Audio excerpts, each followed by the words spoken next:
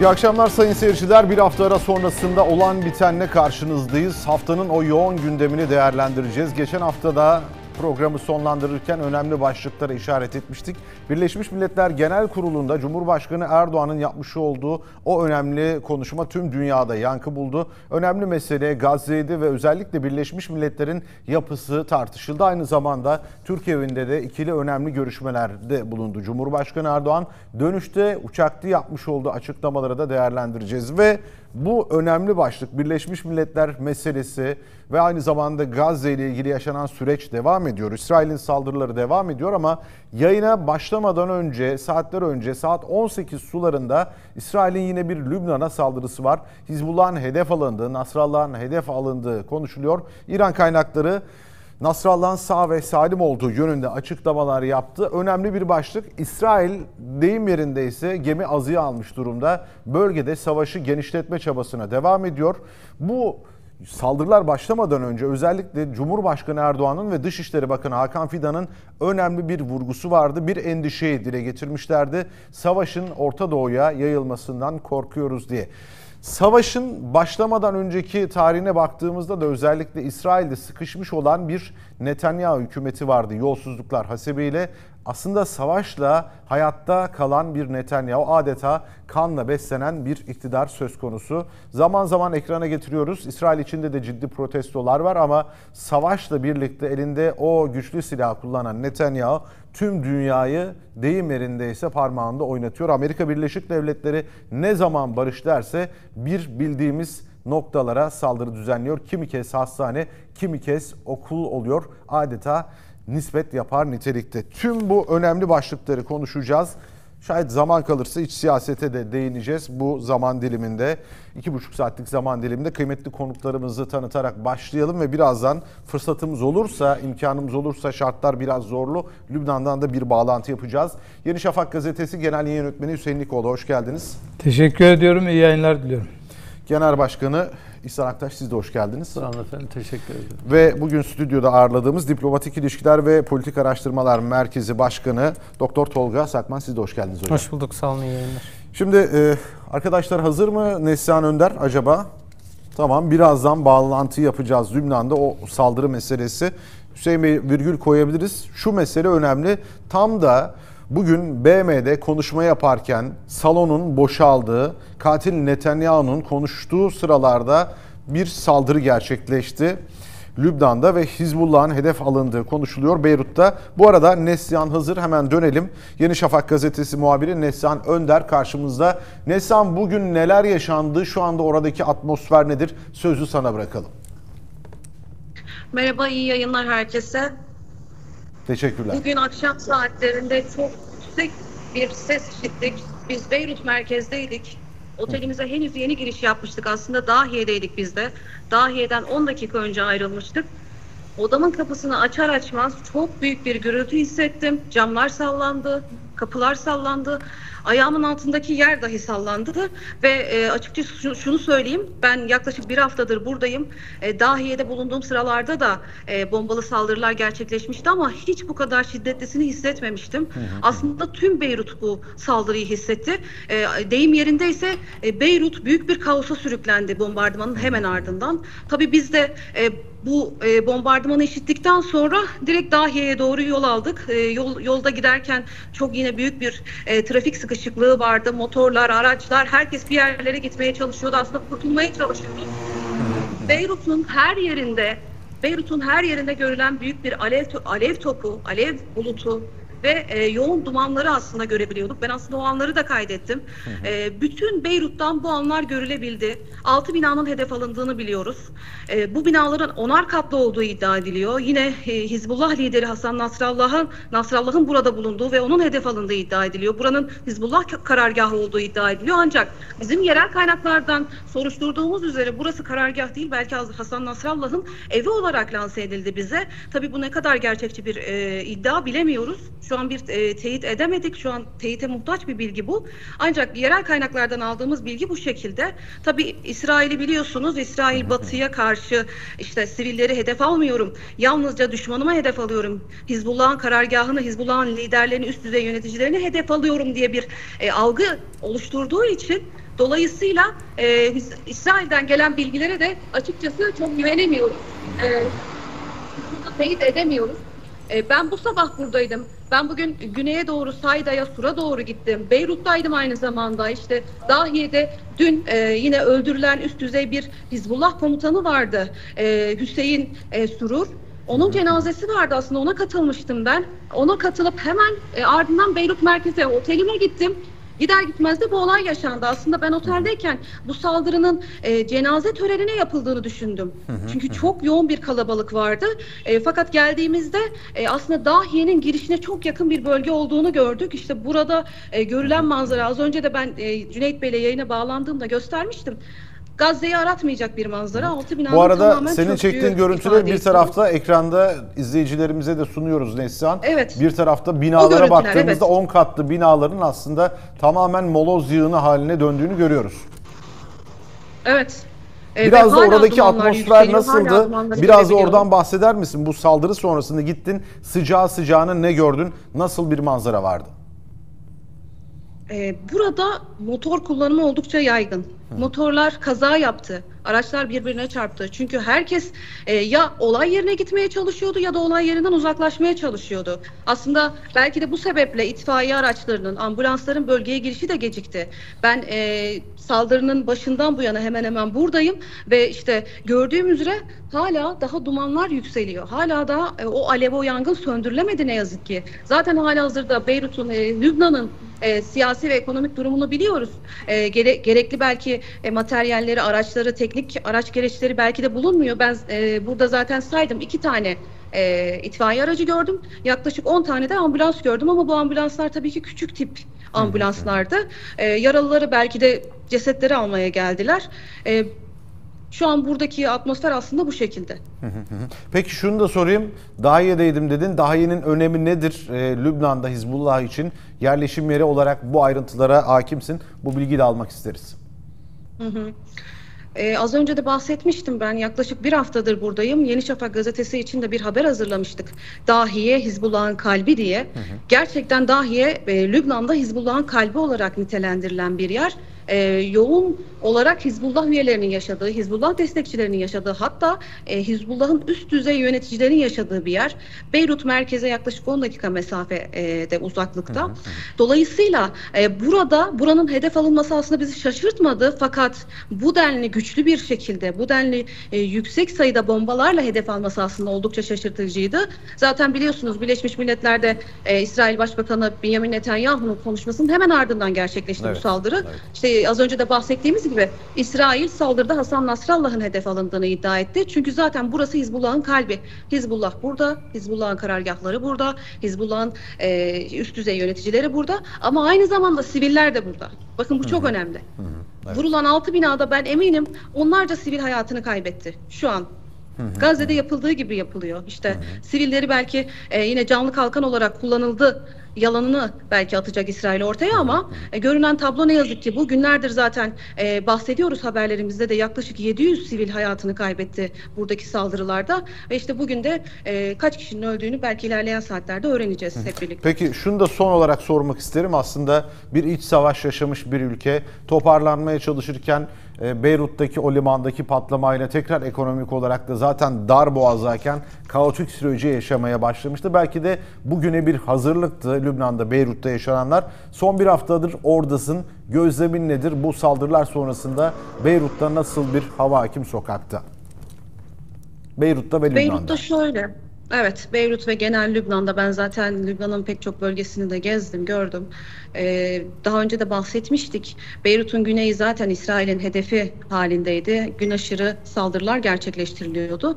Bu saldırılar nedeniyle akın akın kitlesel bir göç Beyrut'a geldi. Beyrut'ta oteller, pansiyonlar, hastaneler, okullar, kiliseler hatta camiler tıklım tıklım dolu. Sokaklarda yatanlar var, araçlarında yatanlar var. İnsanlar e, güvenli bölge olarak nitelendirdikleri Beyrut'a göç ettiler tabii ki. Çünkü güneyde çok yoğun, çok şiddetli saldırılar sürüyordu. İşte az önce de söylediğim gibi 700 sivil hayatını kaybetti. En az 700 sivil hayatını kaybetti. Dolayısıyla e, Beyrut şu an o göçün şokunu yaşıyor.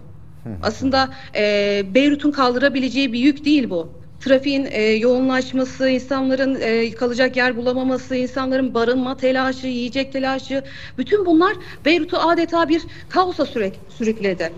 Ve şu anda da bu kaos devam ederken bu saldırının yapılması artık ilerleyen günlerde Beyrut'a nasıl yansıyacak bilmiyorum ama büyük bir çöküş yaşatacağını da düşünüyorum açıkçası. Peki. Çünkü Beyrut hali hazırda e, büyük bir çöküşün eşiğindeydi. Belki de bu saldırı ve işte önceki saldırılarla birlikte bu saldırı bu çöküşü daha da hızlandıracak. İşte bahsediyoruz. Beyrut yıllardır siyasi ve ekonomik e, bir kriz içerisinde. Dolayısıyla e, elektrikler gün içerisinde sık sık kesiliyor, su kesintileri yaşanıyor. İşte insanlar e, paralarını bankalardan çekemiyor. Bankalar bankalar zaten kullanılamıyor. Yani yoğun bir aslında yoksulluk hakim Beyrut'ta. Evet, E, bir de işte güneyden gelenleri hesaba kattığımızda şu an e, yaklaşık 200 bin kişi olduğu ifade ediliyor. Onları da hesaba kattığımızda Beyrut için gerçekten zor günler kapıda diye düşünüyorum. Peki çok teşekkürler. Sana da kolay gelsin. Ara ara sağdan yine yeni gelişmeler oldukça bilgileri senden alacağız. Çok teşekkürler. Yeni Şafak gazetesi muhabiri Neslihan Önder'den son bilgileri aldık. Daha iyi olan saldırının ayrıntılarını ve Beyrut'ta Lübnan'daki son durum bize aktardı. Hüseyin Bey şimdi bu saldırı meselesi tam da Netanyahu'nun, katil Netanyahu'nun BM'deki konuşması sonrasına denk gelen bir saldırı. Aslında yine aynı yalanın yavaş yavaş uygulanmaya konulduğunu görüyoruz. Gazze'de nasıl o koca bir coğrafya, koca kentler yıkıldıysa, yerle iksan edildiyse e, sessiz dünya karşısında gemi azıya almış bir Netanyahu ve İsrail görüyoruz. Tabii e, Birleşmiş Milletler 70 yıldır görevini yapmadığı için bugün de çok utanç verici bir e, konuşmaya izin verdiği için bu katliamları yaşıyor olmamıza şaşırmamak lazım. Yani tam bir yıldır 40 binden 41 binden fazla bu da sayabildiklerimiz bu zor koşullarda tespit edilebilen e, kaç bin kayıp var, kaç bin çocuk kayıp var, kaç bin kadın kayıp var, kayıp var. Buna ilişkin sağlıklı bilgi edinmek mümkün değil. Zira İsrail Gazze'de hareket eden her şeye ateş açıyor. Özellikle çocuklara ve kadınlara bilerek hedef alıyor. Şimdi e, böyle bir katliamdan sonra bir de utanmadan efendim burada bizim e, aleyhimizde çok konuşmalar oldu aslında gelmeyecektim ama onlara cevaben geldiğim gibi bir e, utanmazlık bir e, aşağılık bir e, yaklaşımda BM kürsüsüne çıkarılan asrın katili e, işte soykırımın e, birinci sorumlusu Birleşmiş Milletler kürsüsünden konuştu. Ve o Birleşmiş Milletler'in büyük bir çoğunluğu ki kendi konuşmasında da söylüyor zaten e, aleyhinde e, kararlar aldı. Birleşmiş Milletler'in İsrail aleyhinde aldığı kararları antisemitik yaklaşımla başka yerlere çekmeye çalışarak o e, Birleşmiş Milletler'in büyük bir çoğunluğu Netanyahu'nun katil, soykırımcı olduğunu defalarca ilan etmiş ülkelerden oluşuyor.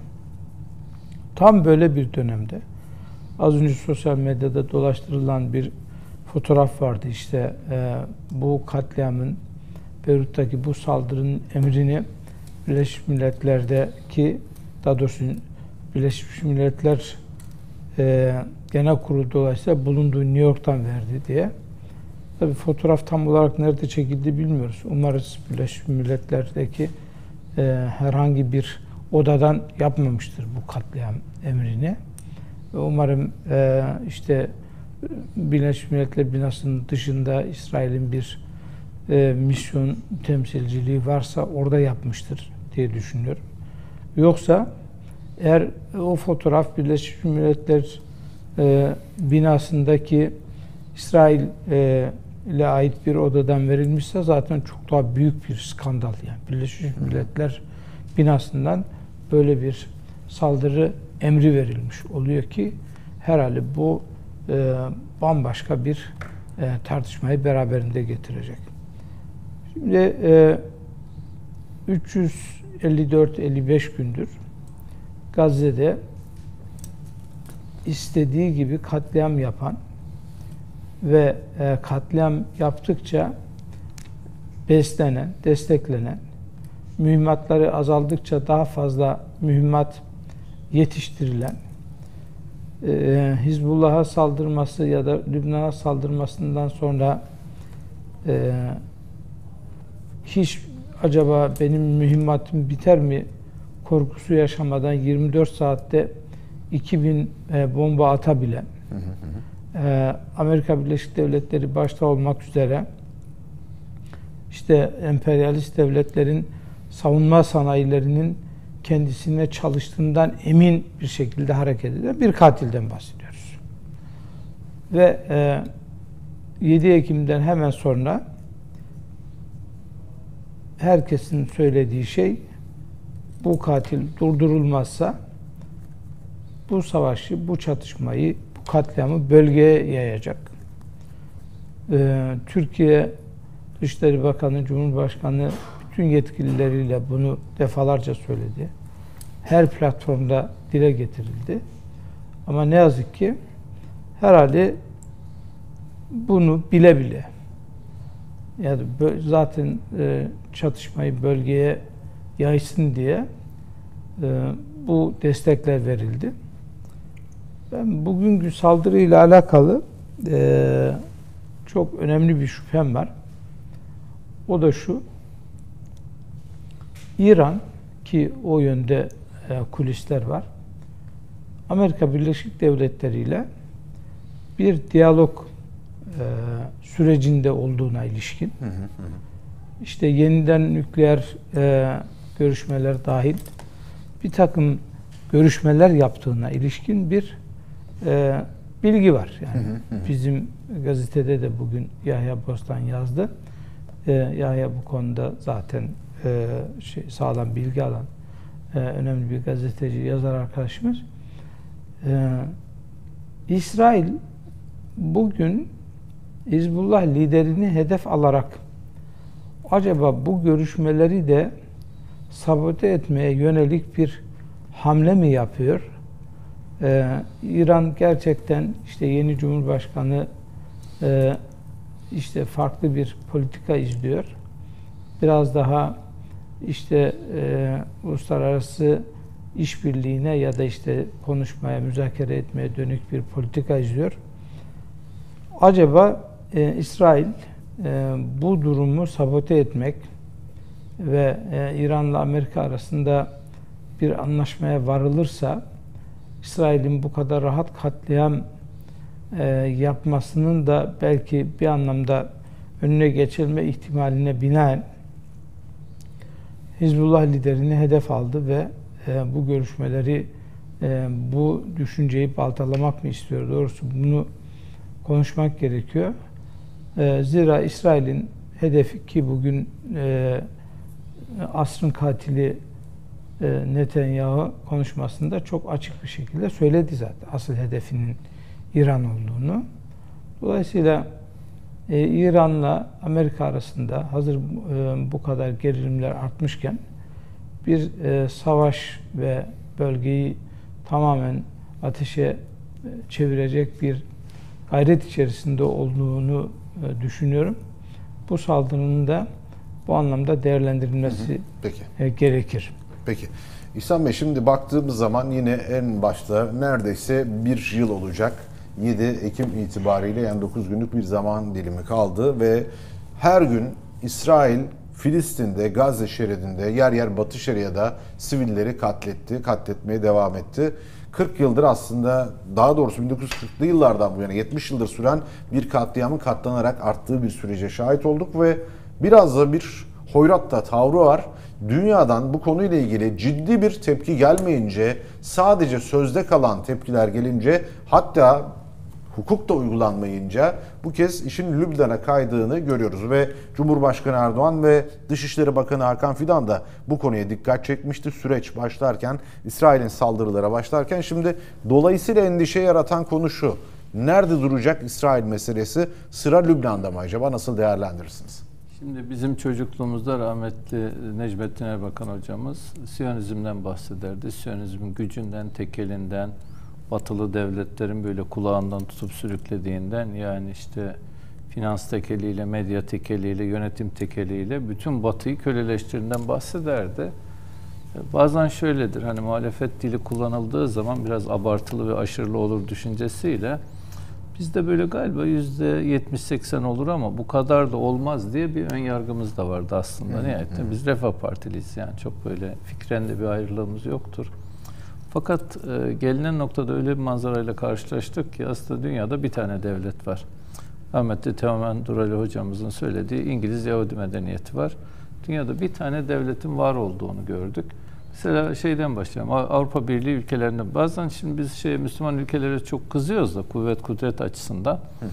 Aslında tamam hepsi bir gün e, bir e, hepsi bağımsız müstakil kendi vatandaşlarının oyuyla iktidarda olan devletler olsa zaten iktidar bu savaşı yapamaz. Onların zaten şeyleri diktatörler eliyle bağlı. Fakat varsayalım ki dünyada bir Avrupa Birliği kümelenmesi var. İşte dünyadaki ekonominin yaklaşık dörtte biri kadar bir güçleri var, silahları var, savunma sanayileri var, işte e, nükleer e, imkanları var Fransız'ın. Peki bu koca Avrupa kümelenmesinin savaşa dair aslında zaman zaman ben şunu fark ettim. İsrail'e karşı bütün devletlerin tutumları sivil toplum tepkisi gibi. Joseph Borrell evet. konuşuyor, koşturuyor, anlatıyor. Hatta Suudi Arabistan Dışişleri Bakanı'yla ileriye dönük bir toplantı, bir çerçeve falan da yapmışlar. Ha şunu görüyoruz, bir İslam ülkelerinin bir gücü yok. iki. Avrupa Birliği'nin bir gücü yok. Hı hı. E, Latin Amerika ülkeleri zaten çoğu karşı olmakla beraber uzaktalar ki e, şeyde yani yönetim değişti. Arjantin'de yönetim değişti tam bu mevzular olurken. Diğer taraftan İspanya ve bazı şeylerin, İskandinav ülkelerinin tepkileri var. Şimdi gözler Amerika Birleşik Devletleri'ne bakıyor. ABD ne diyecek? Hı hı. Şimdi ABD ne diyecek sorunun karşısında tam böyle savaşın ikinci, üçüncü aylarında, başlarında Netanyahu bir ifade kullandı. Dedi ki, pardon şey Biden, ya çok sivil kaybı var dedi, bu savaş durmalı. Hı hı. Ertesi gün şifa hastanesini işgal etti. Evet, evet. Sonra bir adım attığında Netanyahu bir adım daha attı. O bir cümle kurulduğunda şimdi şöyle bir ay öncesine bakalım. Konu neydi? Biden açıklama yaptı. Dedi ki barış %90 oranında gerçekleşti. Müjdeyi verebiliriz. Philadelphia koridoru diye bir pürüz var. Mısır bunu kabul etmiyor. Yani Hamas'tan ziyade Mısır'ın direndiği bir konu. Bunu çözeceğiz. Arkadan ne oldu? Beyrut saldırısı geldi. Yani bu adamlar doğrusu böyle ne ABD ne İngiltere ne şu ne bu. Ha, orada iki ihtimal var. Bir, yani şeytanları aynı olduğu için şeytan yani şeytan ittifakı olduğu için geride planlamayı beraber yapıp perde önünde mi e, ayrı davranıyorlar yoksa Netanyahu bütün kongre üyelerini, bütün yöneticilerin, bütün medyanın iplerinin kendi elinde olduğunu, onların kukladan ibaret olduğunun farkında olduğu için böyle yapıyor. Zaman zaman bunu işte İsrail gazetelerinde ya işte Netanyahu bizim en büyük müttefiklerimizi kaybediyor ama bence bir şey de kaybettiği yoktur. Yani formül şöyle işliyor. Efendim İran saldırırsa karşılığını veririz. İş böyle çığırından çıkarsa biz buradayız. Gemilerimiz burada. Ha o zaman e, demek ki biz Birinci Dünya Savaşı öncesi bu vahşi kapitalizm çağında işgal devri var ya bence Hı, evet. Batı medeniyeti ikinci işgal çağına başladı. Ya böyle düşünüyorum. Çok birbirinden ayrı da düşünmemeye çalışıyorum. Ha diğer taraftan şöyle bir ümidim var. Ee, bazen bir hadise olup bittiği zaman mesela Refah Yolu hükümetinin devrildiğinde bu Türk toplumu şunu gördü. Ya aslında sahnede siyasi partiler falan yokmuş. Memleketi, vesayetçi askerleri ABD idare ediyormuş. Siyasetçiler de sahnede figüran olarak işte yolsuzluk yap, iş yap, biraz yatırım yap. Bununla uğraşıyorlarmış. Şimdi bu olay da acaba şunu göstermiş oldu mu? Ya sokak açısından söylüyorum. Ee, Hristiyanlar 1,5 milyar mı 2 milyar mı dünyada? O kadar sayıları var. 30 bin, 30 milyonda Yahudi var. Hristiyanların tamamı şunu gördü ki aslında onların fert olarak, cemiyet olarak, sanatçı olarak akademisyen olarak ya da işte yöneticiler olarak ipleri tamamen E, 30 milyon hadi 20 milyon, o- 15 milyon Siyonist olsun. 15 milyon Siyonistin elinde. Şimdi böyle bir durumla karşı karşıyayız. Artık galiba e, kainatı, dünyayı olan biteni yeniden yorumlamamız lazım geldiğini düşünüyorum. Saadettin Öktem Hoca'nın kısa bir videosu yayınlandı. Mesela 4-5 yıl önce derdi ki ya hikmet hala batıda. Bize henüz geçmedi.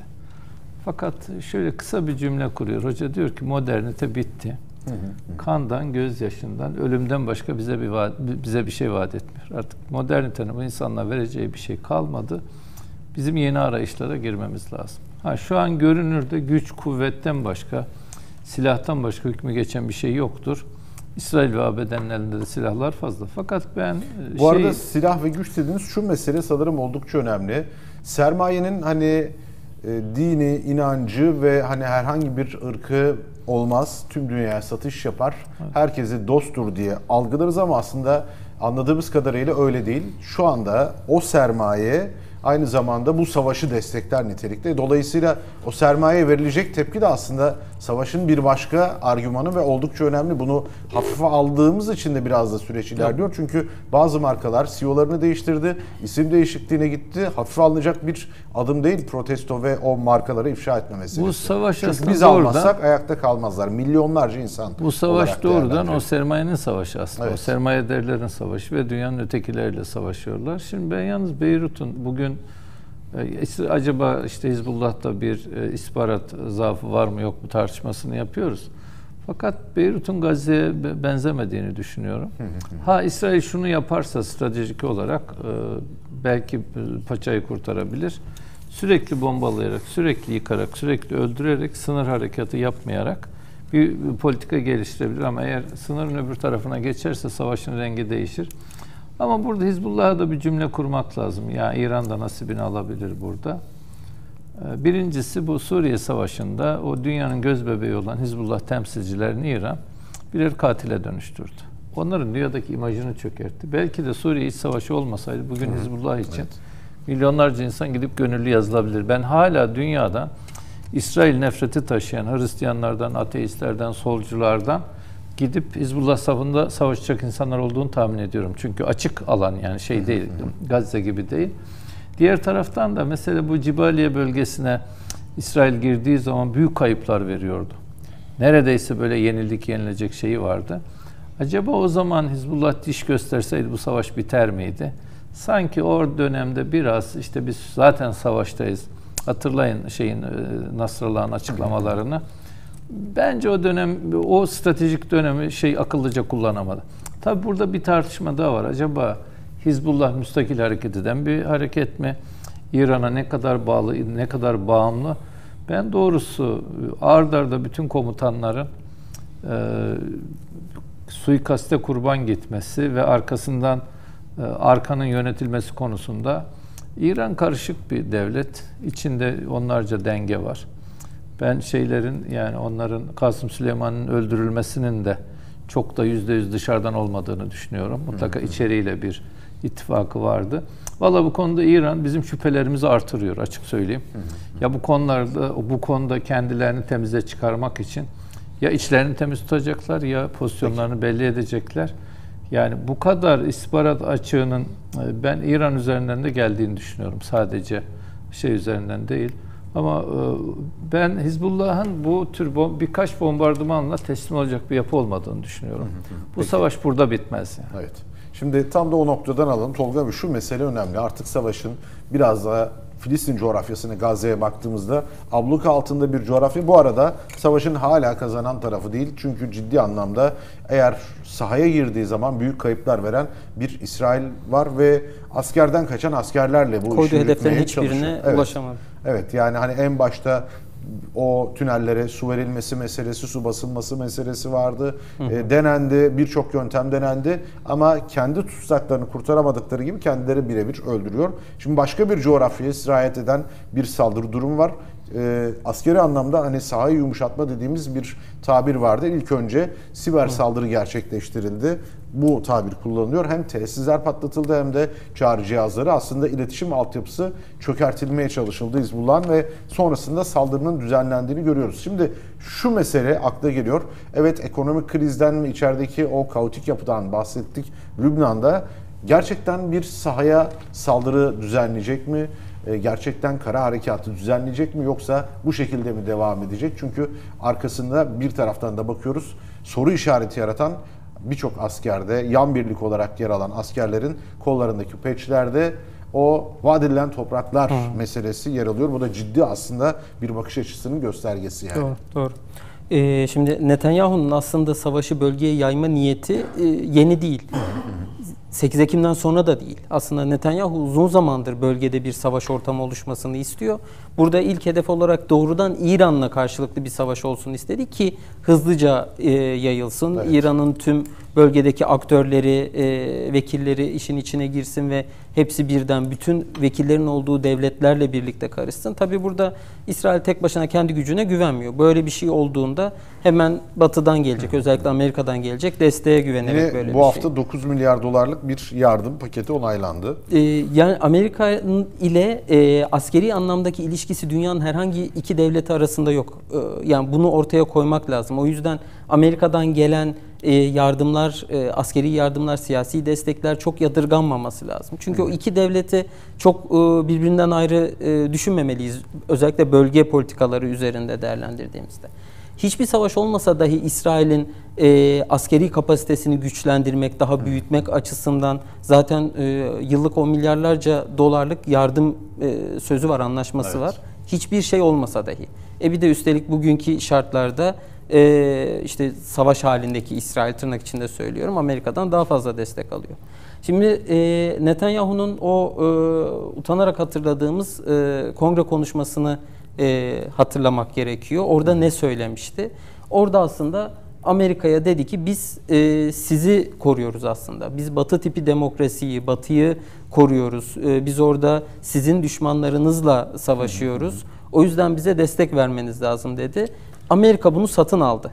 Amerika satın alınca Batı'da zaten Amerika ile birlikte özellikle Orta Doğu politikasını birlikte e, şekillendiren devletler de buna angaja oldu. E, ve Netanyahu o söylemin üzerine kilitlendi. Keza bugün BM toplantısında da aynı şeyleri söyledi. Biz işte Batı'nın e, buradaki savunucularıyız vesaire. Şimdi böyle dediğiniz zaman e, ve bunu kabul ettirdiğiniz zaman burada yaptığınız her eylem bir şekilde meşrulaştırılıyor Batı'da. İşte bugün mesela Beyrut'ta e, şehrin ortasında bir mahalleyi yok ediyorsunuz ve diyorsunuz ki ben orada Hizbullah'ı vurdum. Tamam sen o zaman Hizbullah'ı vurdu, vurduğun için sana bir şey demiyoruz diyor Batı. Doğal olarak bunu hızlı şekilde bölgeye e, yayabiliyor.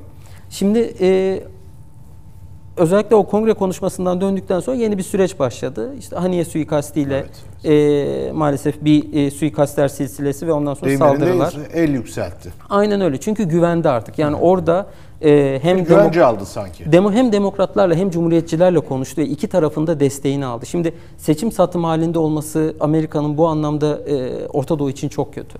Çünkü İsrail'e pek e, kimsenin ses çıkarmadığı bir dönem. Keza olmasa da zaten çok ses çıkarılacağını zannetmiyorum ama bu şartlar tamamen e, Netanyahu'nun işine yaradı. Bunu fark ettiği için tam anlamıyla bunun e, ortamını e, sezinlediği için de geldiğinde daha rahat, daha yeni bir e, evrede e, hareket edebildi. Şimdi Lübnan'da çağrı cihazlarının patlatılması vesaire bunlar iletişim anlamında bir kısıtlama getirdi Hizbullah'a bir. Ki zaten daha önceden akıllı telefonların kullanılması yasaklandı. Ee, yani Nasrallah'ın e, o akıllı telefonları ajanlardan daha tehlikeli bulduğunu söylemesi çok uzak bir tarih değil. Birkaç ay Evet, önceydi evet. yanlış hatırlamıyorsam. Zaten ondan sonra bu akıllı e, şey e, çağrı cihazlarına geçtiler. Çağrı cihazları. meselesi. Ee, şimdi iletişimi kopardı. Ee, belli bir kapasite kaybı e, yarattı Hizbullah e, üzerinde. Nasrallah da bunu kabul ediyor. Çünkü e, belli bir kesimin e, gözünün elinin olmadığı e, bir milis kuvveti, bir e, silahlı kuvvet e, tabii bir kapasite kaybı oluşturdu. Bir de yerlerini tespit etti e, bazı yerleri. Çünkü o patlamaların nerelerde gerçekleştiği üzerinden yerlerini tespit etti. Bu şimdi İsrail'in işine yarayan noktalar. Ama e, gel gelelim e, Lübnan Gazze değil. Lübnan'ın e, kara harekatı yapma niyetinde e, girişseniz Lübnan'ın güneyi dağlık ormanlık bir yer. Hizbullah'ın hala nasıl bir savunma e, stratejisi belirlediğini tam anlamıyla öğrendiğini e, bunu anlamlandırdığını zannetmiyorum. E, savunma zaten saldırıdan her zaman daha kolaydır. Hizbullah gibi e, mili- milis sayısı belli olmayan, elindeki silahlar hala net belli olmayan bir organizasyonun karşısında Silah dediğiniz balistik füze fırlatıldı geçtiğimiz günlerde bu hafta içerisinde Hizbullah tarafından. Bu da normalde İsrail'in pek karşılaştığı bir durum da Evet. değil. Yani dediğiniz doğru. Acaba İran ya da başka odaklar tarafından desteklenen bir Hizbullah hangi silahlara sahip bunu İsrail'de muhtemelen tam olarak bilmiyor. kestiremez çünkü arkası açık. Yani e, Gazze'nin etrafını kapattı, deniz dahil her tarafı kapalı bir Gazze düşünün. Oraya zaten giriş çıkışın çok kısıtlı olduğu bir Gazze'de bile Hamas bu kadar uzun süredir direnebiliyorsa Acaba Gazze'den tünelden çıkıp saldırılar olabilir mi? Böyle bir ihtimal var mı? Gazze'de. Ha yani diğer taraf şey yaparken, savaşırken. Ha yani Milis saldırıları böyle. Ya orada zaten o ufak tefek e, saldırılara devam ediyor Hamas. Yani o e, direnişi Her gün paylaşıyoruz. sürdürüyor. Kassam Tugayları sürekli e, vurkaç taktiğiyle yani o zırhlı araçların içerisindeki İsrail askerlerini tek tek e, yani vuruyor. Yani orada e, İsrail askerleri huzur bulmadan, e, o tankların içinden çıkmadan onlar meşhurdur. Tankın içinden çıkmaya korkan İsrail askerleri hala tankın içinden çıkmaya korkuyor Gazze'de. Orada e, bir İsrail için rahatlama yok. Artı bir de burada e, işte bahsettiğim bir cephe açmaya çalışıyor. Şimdi yeni bir cephe açmak askeri açıdan mantıklı değil. Özellikle bu kadar yorgun, savaşma isteği olmayan, e, Kaçan askerlerle kaçan askerler yani aylardır e, devamlı olarak kaçmaya çalışıyor askerler. İsrail yeni askerler bulmaya çalışıyor ki e, bu Hasidik Yahudilerini vesaire dahil etme çabaları bunun bir parçası. E, şimdi böyle bir ordu yapınız var. E, Afrika'dan devşirmeye çalıştı. evet. Yeni aynen öyle farklı noktalardan devşirmeye çalışılıyor ve siz yeni bir cepheler açmaya çalışıyorsunuz. Bu tek başına yapabilecekleri, tek başına kaldırabilecekleri bir şey değil bir kara harekatı için. Ama eee, şu şeyi göz ardı etmemek lazım. Lübnan siyasi ve ekonomik olarak az önce konuşuldu. Çok eee, hani çok ince bir iplikle bağlı. Evet. E, 2022'den beri Cumhurbaşkanını seçemiyor. Siyasi bir kriz var. E, e, ekonomik kriz var çok derin ve üstelik bu ekonomik kriz ordusuna da yansıyor. Bu çok önemli çünkü Lübnan ordusunda üst düzey subayların çok düşük maaşlarla çalıştığını, o yüzden ek işler yaptığını biliyoruz. Şimdi böyle bir ordu yapısı çok direnç sağlayamaz. Ee, şimdi böyle bir Lübnan'da bir de Hizbullah üzerinden toplumu kışkırtmak, toplumu birbirine düşürmek e, tam İsrail'in, Mossad'ın yapacağı şeyler. O yüzden burada bu patlamalar, çar cihazı patlamaları, üstüne bu bombardımanlar aslında biraz da Lübnan toplumunu içeriden birbirine düşürmek adına yapılan eylemler diye düşünüyorum. Hizbullah odak e, merkezi haline getirecek. Yani sizin yüzünüzden saldırılara Aynen öyle. vuruyoruz, imajı yaratmaya çalışıyor İsrail tarafı. Bu konuda başarılı olup olmayacağını göreceğiz ama e, e, merak edilen konulardan biri de şu araya gideceğiz hocam. Şunu sormak isterim. Acaba e, bunu başarabilir mi? Toplum buna destek verir mi? Evet parçalanmış ekonomik olarak problemli bir durum ama daha önceden iç savaş yaşamış Evet. bir Lübnan bu tecrübesi de e, sabit. E, dolayısıyla bir daha böyle bir şeye kalkışır mı meselesi?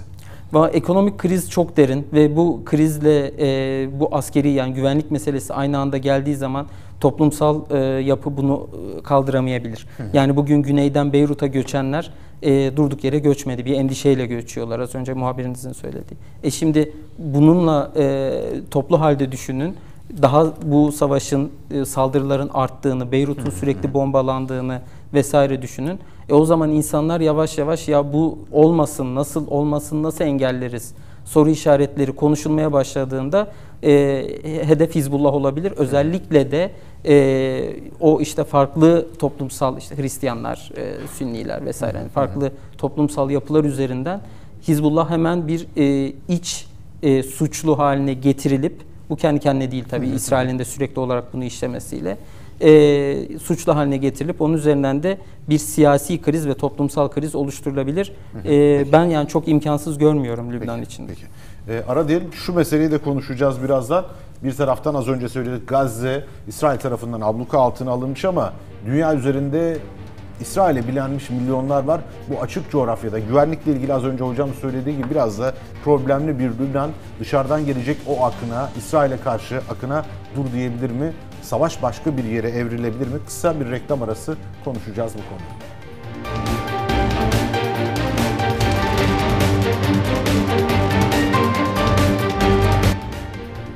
Kısa ara sonrasında devam ediyoruz. Önemli mesele bu haftanın sıcak başlığı İsrail'in Lübnan'a başlatmış olduğu saldırılar ve bugün Beyrut bir kez daha füzelerle vuruldu ve özellikle nüfuz edici olarak bilinen hani derine inen füzelerle binaların yerle eksan edildiği görüntüleri bir önceki saat diliminde paylaşmıştık. Süreç nereye evrilir meselesi tartışılıyor, konuşuluyor. Çünkü çağrı cihazlarının ve telsizlerin patlatılması sonrasında Hizbullah'ın hedef alınacağını ifade etmişti. İsrail tarafı ve aynı zamanda savaşın bu yöne kayacağı yönünde de açıklamalarda bulundu. Şimdi Hüseyin Bey baktığımızda evet İsrail bilindik bir yöntemi uyguluyor. Havadan vurmaya devam ediyor ve daha önce de biraz da istihbarat yetenekleriyle bu saldırıyı yani hem çağrı cihazlarını hem de telsizleri patlatarak süreci başlatmıştı. Ama bir mesele var az önce bitirirken de söyledik. Lübnan evet hem ka- kaotik bir coğrafya hem de açık bir coğrafya. Acaba iş sahaya döner mi yoksa sadece havadan bombardımanla sınırlı bir süreçmişler? Şimdi tabii e, Lübnan işte hem etnik hem dini e, açıdan hem de mezhepsel açısından çok çeşitlilik arz ettiği için e, Hamas gibi değil. Orada e, insan istihbaratı. 7 Ekim olaylarıyla ilgili e, İsrail'in söylediği şey şuydu. Biz Hamas'a karşı sadece teknik istihbarat yapabildik. İnsan istihbaratı yapamadık. E, çünkü o, o daha e, şey e, katı bir e, yapı. Ama e, Lübnan açısından baktığımız zaman e, insan istihbaratı yapmanın da mümkün olduğu bir e, alan. Zaten çağrı cihazlarıyla tesislerin patlatılmasına baktığımız zaman e, epey insan istihbaratı yapılmış yani. E, dolayısıyla e, İsrail'in şu anda e, Lübnan'daki Hizbullah'a karşı e, özellikle nokta atışlarına nok- e, baktığımız zaman şeyden biraz daha e, Gazze'den biraz daha avantajlı gibi görünüyor. E, tabii havadan e, operasyon açısından. E, bir kara harekatı ki e, 2006 yılında İsrail e, ciddi bir e, kayıp yaşadı, çekilmek zorunda kaldı. E, kara harekatı da e, Gazze'den farklı. Orada da Hizbullah'ın avantajı var yani coğrafi olarak. E, Gazze'de e, Hamas'ın e, kara harekatı açısından e, büyük bir dezavantajı var. Ama e, Lübnan'da ise e, coğrafi koşullar biraz daha avantaj sağlıyor. Dolayısıyla İsrail e, bir kara harekatına e, girişir mi? İşte bir yıllık savaştan sonra, dünyadaki bu kadar baskılardan sonra e, onun bir e, değerlendirmek gerekir diye düşünüyorum. Yani ben e, en- başta söylediğim İsrail e, İran'ın en büyük vekil e, gücünü çok yoğun bir şekilde bombalayarak, saldırarak e, başka bir e, hesabın içerisinde olduğunu düşünüyorum. E, bu da e, Amerika Birleşik Devletleri ve diğer batılı devletlerin e, durup düşüneceği bir durum. Yani e, ya İsrail'in bu pervasızlığını destekleyecekler, çok katı bir şekilde yanında yer alacaklar ya da e, o kadar ileri gitme diyecekler. E, o açıdan baktığımız zaman durum farklı. Ama e, İran açısından baktığımız zaman İran işte Suriye'deki büyükelçiliği saldırıya uğradı. Önemli e, işte e, devrim muhafızları e, komutanları öldürüldü. E, Haniye e, İran'da e, şehit edildi. Bütün bunlara baktığımız zaman e, hep kısmi tepki gösterdi. Hatta Haniye'den sonra hiç göstermedi yani. Evet. E, dolayısıyla o açıdan e, İran bu konuda nasıl bir tavır takınacak onu çözmek çok e, mümkün görünmüyor. Şu anda İran'ın yönetim açısından söylüyorum aleyhindeymiş gibi görünen bir durum var. O da şu. Ya işte bu kadar devlet onuruyla oynandı. Ya niye karşılık vermiyoruz Evet, evet. şeklinde bir e, durum var ama e, İran rejimi e, biraz e, sessiz kalarak e, içeriye şöyle bir mesaj veriyor olabilir. Bak, sal- bu saldırganlığın asıl sebebi İsrail. E, dolayısıyla hani biz dursak da İsrail bizi düşman belledi. E, do, e, içeride e, ki bu şey değişebilir yani. Yani bak işte suhuletle duruyor. E, işte daha akli selim davranıyor. Devlet aklıyla hareket ediyor. Ama devlet aklıyla hareket etmeyen pervasız bir İsrail var. E, bu e, uzun vadede İsrail'in aleyhine veya İsrail destekleyenlerin aleyhine yani İran'la ilgili hesabı olanların aleyhine dönüşebilir. E, ama İsrail bölgeyi e, büyük bir savaşa sürüklemek istiyor. Bu aşikar. Netanyahu siyasi ikbali için yapıyor.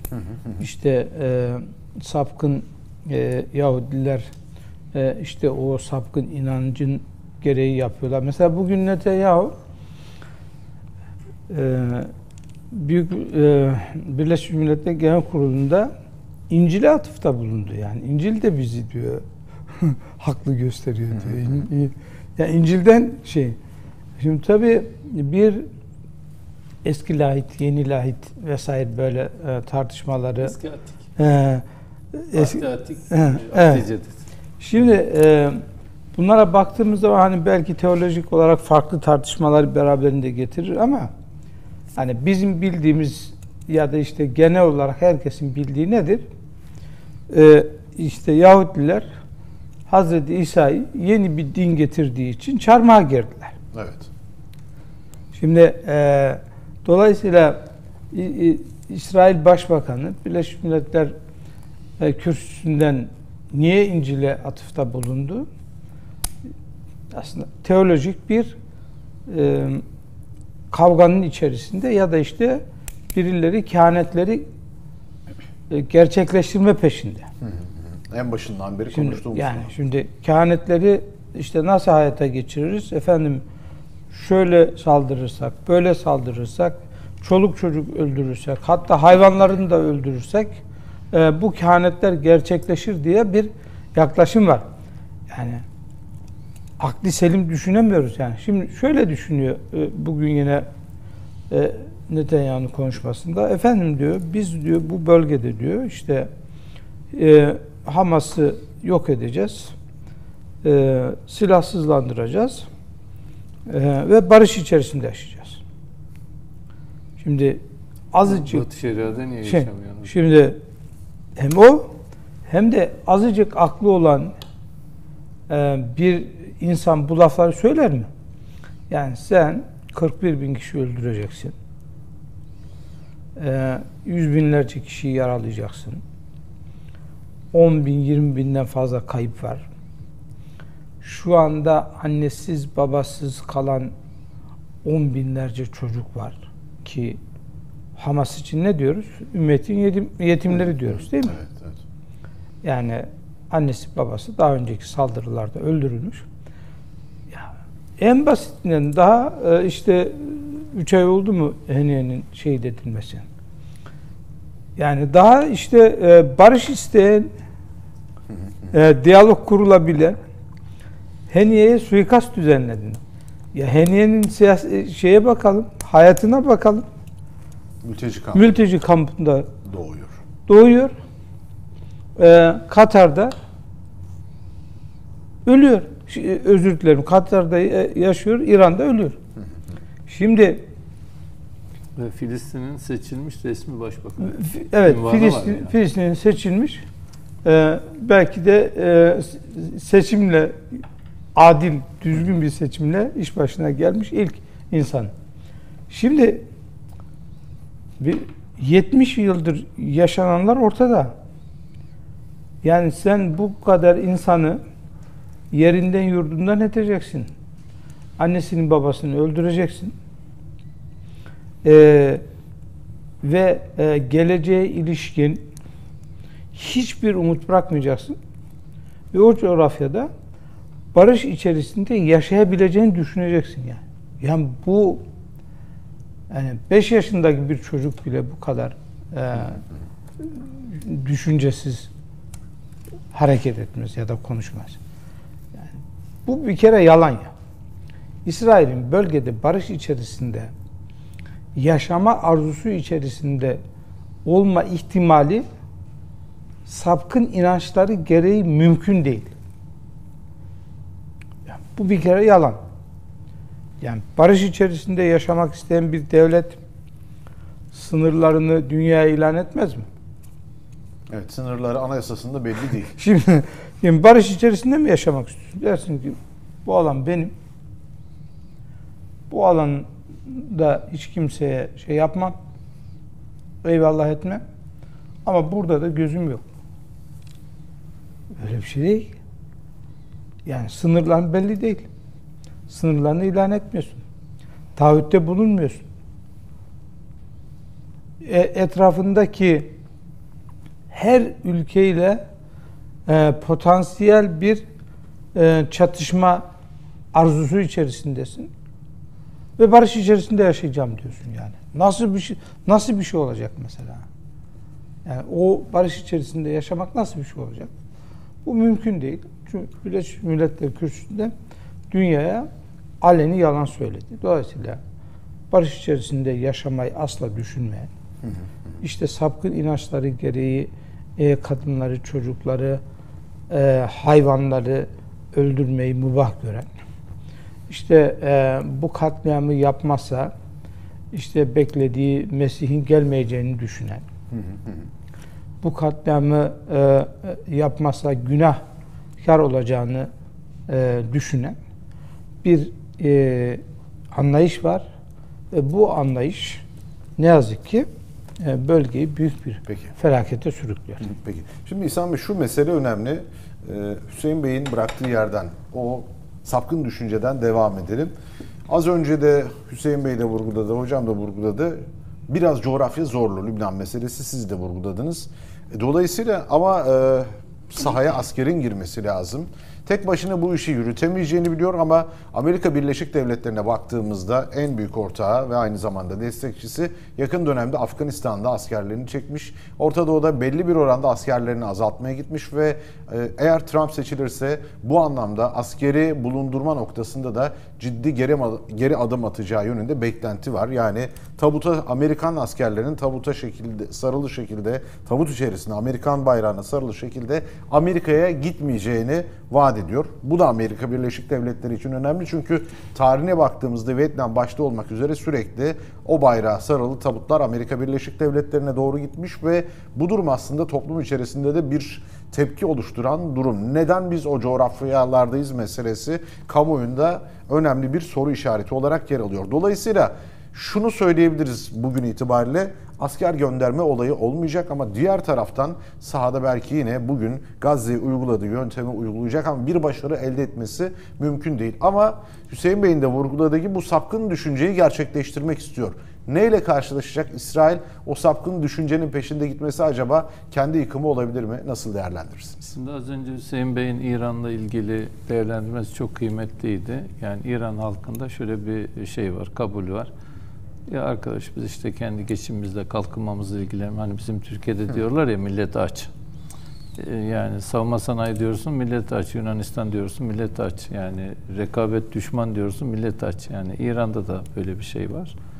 Ee, Bizim Beyrut'ta işte ya da işte Hamas'ta ya da Filistin'le ne işimiz var? Biz kendi şeyimize bakalım ya da e, Irak'ta ne işimiz var?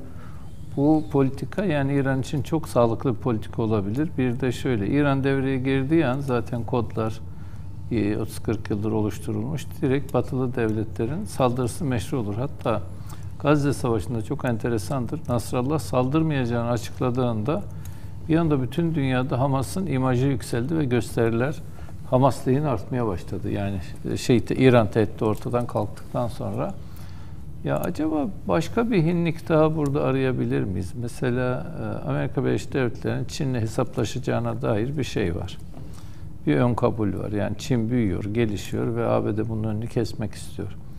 Netanyahu da ısrarla şeyi yani ABD'yi Orta Doğu'da bir savaşa çekmek istiyor. Acaba burada daha önceki yıllarda Yahudi sermayesinin Çin'e taşındığına dair bir e, öngörü vardı. Yani Amerika'yı terk edip Çin'e taşınıyor. Bugün gösterdiği harita Evet, evet Çin'den kayna Çin'den gelen bir harita. Acaba burada Netanyahu savaşı Orta Doğu'ya e, çekip de Çin'le bir ittifak halinde geleceğini Yahudiler Çin'de mi arıyorlar gibi bir soruyu bir sorabiliriz. Çünkü Çin hızlı büyüyor, ABD hızlı küçülüyor. Ee, ve ben e, Çin'deki batılı bankaları gördüğüm zaman mesela bankanın birisinin önünde ben bir uçtan bir ucu 10 dakika yürüdüm. Hiçbir e, batılı devlette böyle büyük bir batılı banka görmedim. Yani, Peki o zaman şunu sormak lazım. Çin kültürüne baktığımızda biraz kapalı yapısı ve geleneklerine sahip çıkan bir yapı söz konusu. Belki de Çin'in bu kadar hani güçlenmesinde temel hani kriterlerden birisi özünü koruma meselesi. Acaba buna izin verecek mi? Şöyle ben e, bu Yahudilerin hani zaten belki de ortak büyüyorlardır Çin'le beraber. Yani Yahudilerin nerede ne gün ne zaman ne yapacağını insan kestiremiyor. Ben şey konusunda bu Netanyahu'nun savaşı illa Orta Doğu'da tutma konusunda e, Çin'le bir ittifak olabilir. Bu sadece bir soru. Hani nihayetinde uzmanlığımız doğrudan dış politika ya da Çin, İsrail politikaları değil ama bu soruyu sorup arkasına düşebiliriz. Neden ısrarla Orta Doğu'da bir savaş istiyor İsrail? Buna tek başına mı karar veriyor? Bunu ne şeyin sapıklığıyla yani ne Netanyahu'nun sapıklığıyla açıklayabiliriz. Hı hı. Fakat Amerika Birleşik Devletleri işgal yoluyla Orta Doğu'da kalmak istese şeyde Irak'tan çekilmezdi. Suriye'de varlığı var, biraz sembolik hale geldi. Suriye'de işgal bölgesini genişletebilirdi. PKK'ya ihtiyaç yoktur. Kendi askerleri de orada kalabilirdi. Bir bahaneyle geldi yerleşti. Afganistan'dan çekilmeyebilirdi. Burada şeyin, İsrail'in bu tutumunun acaba Orta Doğu'yu ABD askeri olarak işgal ediyor mu etmiyor mu sorusunu sorup Çin'le de mukayese etmek lazım. Ben bir konuda insan e, savaştan asla memnun olmayız yani keyiflenmeyiz de. Fakat bu Ukrayna-Rusya savaşı başladığı zaman dedim ki Birinci Dünya Savaşı'ndan sonra, İkinci Dünya Savaşı'ndan sonra neredeyse ilk kez iki batılı devlet arasında yani mantalite olarak batılı bir savaş oluyor. Belki biz nefes alırız. Fakat kadere bak ki Netanyahu buna fırsat vermedi nefes almamıza. Bir taraftan geçtiğimiz haftalarda ben şeyle ilgili de Ukrayna-Rusya savaşı ile ilgili de şu an çok konuşulmuyor ama bir yazı kaleme aldım. Acaba Ukrayna-Rusya savaşı Avrupa için bir kara deliğe dönüşebilir mi diye. Burada dolayısıyla aslında bir yönüyle Avrupa tehdit altında, İslam ülkeleri tehdit altında. Amerika Birleşik Devletleri bu oyunu gerçekten oynamak mı istiyor, zorunda mı bırakılıyor? Buna da kafa yormak lazım. Ama ben e, şeyin yani bu e, Lübnan Savaşı'nın Hamas kolay olmadı zaten. Yenemediler yani. Evet. Sonuçta yani orada bir yenilgi yok. Sadece aradan bir öldürülmüş yıl, siviller ve yıkılmış bir aradan bir yıl kent geçti. silsilesi var. Baştan sona yok edilmiş binalar var. Ee, işte 40 bin, 50 bin sivil var. Ve hala ya biz buraya askerimizi koyduk, Hamas da yok diyemiyorlar yani. Hı hı. Ne kadar süreceği belli değil. Savaş başladığında iki tarafın öngörüsü 6 aymış yani. Hem Hamas'ın hem de İsrail'in. Ama 6 aya bir 6 ay eklendi. Savaş devam ediyor. Burada e, acaba Hizbullah kendi kadarını kendisi mi tayin edecek yoksa bunu İran'la mı tayin edecekler? Orada bence e, Hüseyin Bey'in söylediği çok kıymetli. Belki de İran bekleyip yani kendi iç kamuoyunu tahkim ettikten sonra bir adım atabilir. İran şeyi çok ucuz harcadı. Bu e, Heniye'nin öldürülmesinden sonra bir 10 gün dünyada büyük gerilim yaşadı. ABD gitti, İngiltere gitti, başka ülkeler gitti. Türkiye aracı oldu. Orada İran belki bu tehditle barışı zorlayabilirdi. Orada başarılı olamadı. Netanyahu tekrar İran'ın o baskısını, psikolojik baskıyı da unutturdu yani. Bir 10 gün, 15 gün büyük gerilimle İran'dan büyük füzeler beklediler. Ee, İsrail halkı gerildi. Hatta makaleler yayınlanıyordu. Yani Netanyahu bize böyle bir kader mi vaat ediyor gibi. Ama sonradan e, galiba hem Amerika Birleşik Devletleri ya anlaştılar geri planda. Ben şey konusunda İran'ın hangi gün hangi masada kiminle ne yaptığı konusunda mesela diyelim ki Erdoğan'ın bir politikası var. Parti de aynı şeyi konuşur, hükümet de aynı şeyi konuşur. Gider Biden'la da pat diye aynı şeyi konuşur. Hatta yarım kalan meseleler varsa da çıkar medyada der kardeşim. Bu konuda bizim rakip kusurlu. Fakat İran'ın böyle iç içe geçmiş o e, eski şeyden yani Pers İmparatorluğu'ndan bugüne kadar büyük bir diplomatik geleneği var. O da bu diplomatik geleneği acaba hayra mı kullanıyor, şerre mi kullanıyor? Ondan emin değilim. Bir de onların şöyle bir merakı var. E, Bir İranlı heyetle e, Ankara'da karşılaştık. Özellikle ya Yeni Şafak işte Akit bizim aleyhimize çok yazı yazıyor diye bir ifade kullanmışlardı. Ben dedim ki Vallahi İran medyasında Türkiye aleyhine o kadar çok şey vardır ki biz ilgisiz olduğumuz için görmüyoruz. Muhtemelen biz baksak orada Türkiye aleyhine yazılan yazılara yüz, sizdeki yüze karşı bizde birdir. Fakat siz dedim Türkiye medyasını kontrol etmeyi seviyorsunuz. Oraya tahakküm kurmayı. Bu yüzde bir de sizi rahatsız ediyor diye bir böyle e, müzakerede bulunmuştuk. Benim de buralı olduğumu çok bilmiyorlardı. Yeni Şafak'ta yazdığımı falan. Şimdi dolayısıyla bir e, felakette karşı karşıyayız. Ben asıl şurada görüyorum. Gazze Savaşı şunu gösterdi ki, Birinci Dünya Savaşı'nda millet nasıl topuyla, tüfeğiyle, kazmasıyla bir bağımsızlık savaşı verdi. İkinci Dünya Savaşı'nda bütün milletler teker teker bağımsızlık savaşı verdi. Bence bugün Müslümanların da, Hristiyanların da, dünyanın bütün milletlerinin bir bağımsızlık savaşına ihtiyacı var ve bu bağımsızlık savaşı da ABD'ye ve Siyonistlere karşı olmalı. Ve ben bu hani Komünist Manifesto gibi bugünlerde bizlerin her birimizin fert olarak, cemiyet olarak, sivil toplum olarak, siyaset olarak manifestomuzu çekip yola çıkmamız lazım geldiğini düşünüyorum. Bu artık bir e, rahmetli Erbakan hocamızın dediği firavun düzeni, köle düzeni ve bu köle düzeninin insanları ne hale getirdiğini görmüş olduk. Biz herhalde tekrar da adil düzen sloganları atacağız. bundan sonra. Peki.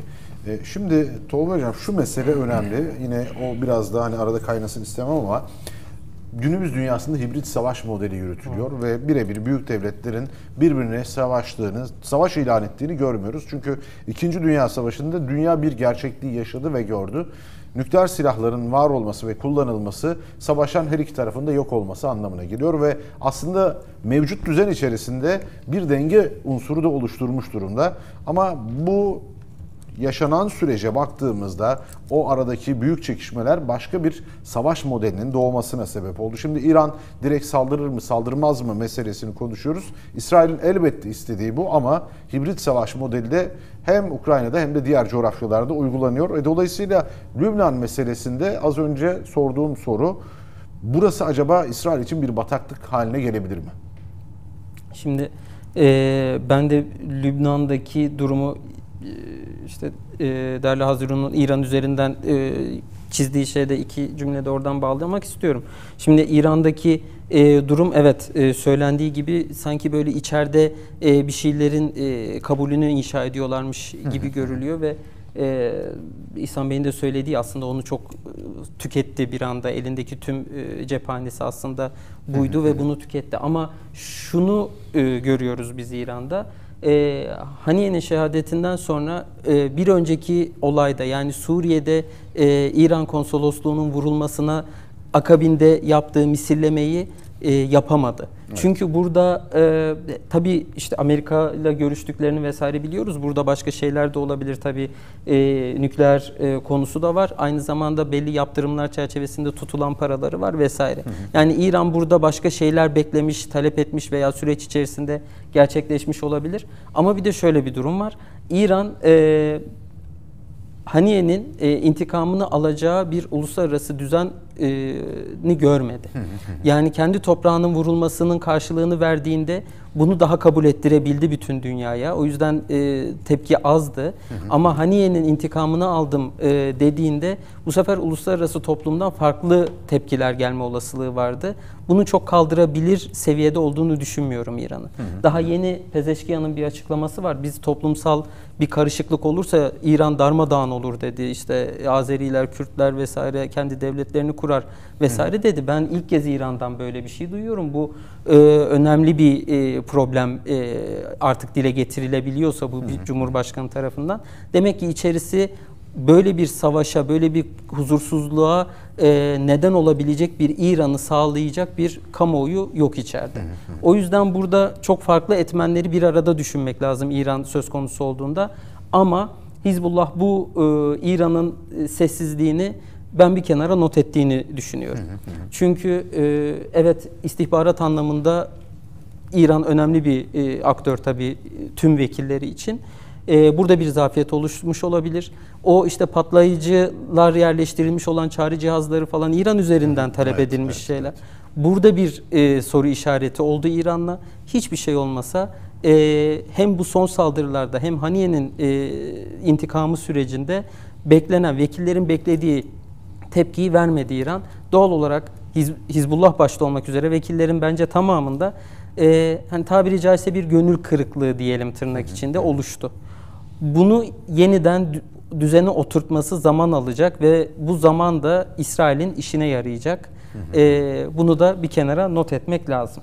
Şimdi vekillerden bahsetmişken dediğiniz nokta aslında e, devletlerin karşı karşıya gelmediği e, nokta. Hocam tam bu noktaya gelmişken bir virgül koyalım. Yine Lübnan meselesine döneceğiz. Bir kez daha Yeni Şafak muhabiri Neslihan Önder'e dönelim. Bize o bölgeden ayrıntıları aktarsın. Son bağlandığımız andan bu yana neler yaşandı? Atmosfer nedir e, Beyrut'ta? Bir kez daha söz sende Neslihan. İyi akşamlar Halil Bey. İyi akşamlar. Ee, Beyrut'ta Dahiye'de yaşanan saldırının e, enkazının çevresindeydik bizler. Orada da sizlere yayın yapmaya çalıştık biliyorsunuz. Defalarca kez engellendik maalesef Hizbullah üyeleri tarafından. En son e, artık bölgeden ayrılmamız gerektiğini ifade ettiler. Biz de bu bölge bölgeden ayrılıp yaklaşık 5 dakika uzaklıktaki bir e, lokasyona geldik. Şu an e, arama kurtarma çalışmaları devam ediyor. Halen yangını söndürme çalışmaları da devam ediyor. Biz ayrılırken dumanlar yüksel yükseliyordu. E, bölgeden yerel halktan aldığım bilgiye göre e, bir Filistinli sivil e, var hayatını kaybeden. E, hali hazırda zaten iki kişinin öldüğü, 76 kişinin de yaralandığı belirtilmişti. Ancak enkazı sizler de ekranlarda gördünüz, ekranlar, ekranlara taşıdınız. Bizler de canlı olarak gördük. Ne yazık ki şunu söylemek gerekir, o enkazdan kimsenin e, sağ çıkabileceğini düşünmüyoruz. Yaralananların da çevrede e, şarapnel parçalarıyla yaralandığı ifade ediliyor zaten. E, oldukça e, kötü bir atmosferdi bölgede bulunduğumuz e, anlarda. Dumanlar hala yükseliyordu, hala yangın söndürülememişti. Yine aynı şekilde iki tane daha ambulansın geldiğini ifade edebilirim. E, zaten bölgede e, onlarca ambulans vardı. Bunlar yaralıları e, çevre hastanelere taşıdılar. Beyrut merkeze getirdiler çoğunlukla arama kurtarma faaliyetleri devam ediyor. Tabii bir yandan da e, İsrail basınının çeşitli iddiaları var. Kanal 12 Hasan Nasrallah'ın kesin olarak öldürüldüğünü ifade ediyor. E, Hizbullah kaynakları da bunu yalanlıyor. E, henüz e, netleşmiş bir durum e, olmasa da Kanal 12'nin aslında İsrail'in e, oldukça güçlü bir televizyon kanalı olduğunu ve içeriden istihbarat, istihbarat bilgisi aldığını da çok iyi biliyoruz. Daha önceki olaylarda da bunlara şahit olmuştuk. Dolayısıyla bu iddianın da gerçek olma ihtimali e, söz konusu. E, Hizbullah'ın e, basın birimiyle görüştüğümüzde enkaz alanına ne zaman girebiliriz diye sorduğumuzda bununla ilgili bir yanıt vermediler. Yarın e, belki olabilir dediler. Normal şartlar altında Dahiye'de bir saldırı olduğunda biz bölgeye gidip e, Hizbullah'ın 1-2 saat içerisinde bize e, bölgede çekim yapma izni vermesini bekliyorduk. Ancak bu kez öyle olmadı. Hizbullah e, yarın gelin dedi bize. Belki yarın açabiliriz dedi. Bunun da nedeni işte e, malum yapılan saldırının belki büyük olması, belki Hasan Nasrallah'ın gerçekten or- orada ölmüş olması bunu bilemiyoruz şu an için. İlerleyen dakikalarda belki öğreneceğiz ama e, son olarak yaşananlar bu şekilde. E, bölgeden yine sırt çantalarıyla ayrılan insanları gördük bu tarafa doğru gelirken. insanlar gecenin bu saatinde artık e, eşyalara sırtlanmış bölgeden kaçıyor çünkü e, her an bir İsrail saldırısının hedefi olabilirler. Çünkü bölgede çok sayıda sivil olduğunu daha önce de ifade etmiştim. Tekrar altını çizeyim. Ben bugün Dahiye'deydim. Dahiye'de bir cenaze töreni vardı. Hizbullah'ın üst düzey komutanlarından e, Hüseyin Surur'un cenaze töreni vardı. Onu takip etmiştim. Dolayısıyla e, sokaklarında gezerken çocukları, kadınları, gençleri, yaşlıları herkesi gördüm. Aslında sivil bir bölge burası. Her ne kadar Hizbullah'ın e, kalbi desek de, Hizbullah'ın karargahlarının bulunduğu bölgeler desek de altı binanın yıkılmasından bahsediyoruz. Altı binanın tamamının Hizbullah olma ihtimali yok. Hala hazırda benim net olarak elde ettiğim bir bilgi var. O da bir, bir, bir Filistinli şi- e, kişinin şehit olduğu, öldüğü. Evet. Peki çok teşekkürler Neslihan. Yine kolay gelsin diyelim. Son bilgileri Neslihan'dan aldık. Neslihan Önder Yeni Şafak gazetesi muhabiri bize aktardı. 6 bina vuruldu. İsrail tarafından balistik füzelerle vuruldu. Nüfuz edici füzelerle vuruldu düzeltelim. Yani daha çok sığınakların hedef alındığı füze türü. Bu binalara yönelik kullanıldığında bu tür e, füzeler bildiğiniz gibi büyük bir yıkıma sebep oluyor. Tahrip gücü yüksek ve ciddi anlamda deprem etkisi yarattığı da tüm Beyrut'ta konuşuluyor. Biz de az önce bunun bilgisini aldık. İlk belirlemelere göre 2 can kaybı ve 76 yaralı var. Ne yazık ki ama tabii yıkıma baktığımızda can kaybı sayısının artacağını biliyoruz. Şimdi hocam oraya virgül koyduk. Saha meselesiyle devam edelim bu bilgiler ışığında. Ee, şimdi Lübnan e, İsrail'e İsrail için bir bataklık haline gelir mi noktasında aslında e, bu bilgilerden şöyle şunu da söyleyerek devam edeyim. E, aslında İsrail'in bu kullandığı e, mühimmat çok büyük e, tahribat yapan mühimmat e, birçok e, noktada sivillerin kaybına neden olduğu için İsrail'in kullanmasını yasaklatalımın en çok konuşulduğu mühimmatlar. Hatta Amerika de- Birleşik Devletleri ile çekişmeli konulardan birisi değil mi? Aynen öyle. Hatta e, Amerika bugüne kadar bir paket e, silah sevkiyatını durdurdu. Onun da içinde bu iki tonluk e, bombalar vardı. GBU 76 idi galiba yanlış Ee, hatırlamıyorsam. Evet. Ee, şey MK84. Evet, yani- Türkiye'ye karşılığı yerli üretim MK-84. evet. Bu e, sivil e, ölümlerinin çok yüksek ol- olabileceği nedeniyle yasak e, bu mühimmat sevkiyatı durdurulmuştu. Hemen arkasından çok daha fazlası verildi tabii İsrail Amerika tarafından. O yüzden bugün Lübnan'da da bu tip silahların kullanılıyor olması aslında e, hem açılan davalar, o soykırım davalarında girecek dosyaya girecek olan konular bunlar. Bu mühimmatı şehrin içinde Evet. e, askeri kullanıyor mevzilere olması. ya da askeri tesislere yönelik değil, tamamen sivil yapılara yönelik Aynen öyle. Yani evet. burada çünkü kaç sivilin öleceğini kontrol edemez. Yani e, evet belki ben Hizbullah'ı vurdum diyecek ama altı binanın içinde bütün binanın e, komple Hizbullah militanlarıyla vesaire dolu olduğunu iddia edemez. O yüzden bu e, başlı başına bir problem e, ama o problemleri bile göze alacak noktada şu anda. Yani e, gözü dönmüş e, durumda Netanyahu'nun. E, burası bir bataklığa dönüşür mü o hibrit e, savaşlar üzerinden? Yani bunu bölgede en kolay, en çok İran'ın kullandığını biliyoruz. E, Irak, e, Suriye, Lübnan ve Yemen'deki kollarıyla aslında e, ahtapotun kolları diye nitelendiriyorlar bunu Orta Doğu'da. E, İsrail'e e, İsrail'in çevreliyor e, gibi bir e, görüntü var. E, ama tabii bir kere düzen bozulunca birçok aktör işin içine giriyor. Suriye'de örneğin sadece e, İsrail değil e, birçok Amerika'nın, Rusya'nın vesaire aktörleri var. Kendilerinin olduğu gibi aktörleri de var. E, bu yeni savaş yöntemi aslında biraz da uluslararası sistemin getirdiği şey. Yani sizin söylediğiniz o iki kutuplu dünyadaki o iki kutbun birbirini nükleerle dengelediği, daha sonra süper gücün e, herkese e, herkesin üstünde durduğu ve onun kurduğu sistem içerisinde herkesin o düzene ayak uydurduğu sistemler geride kaldı.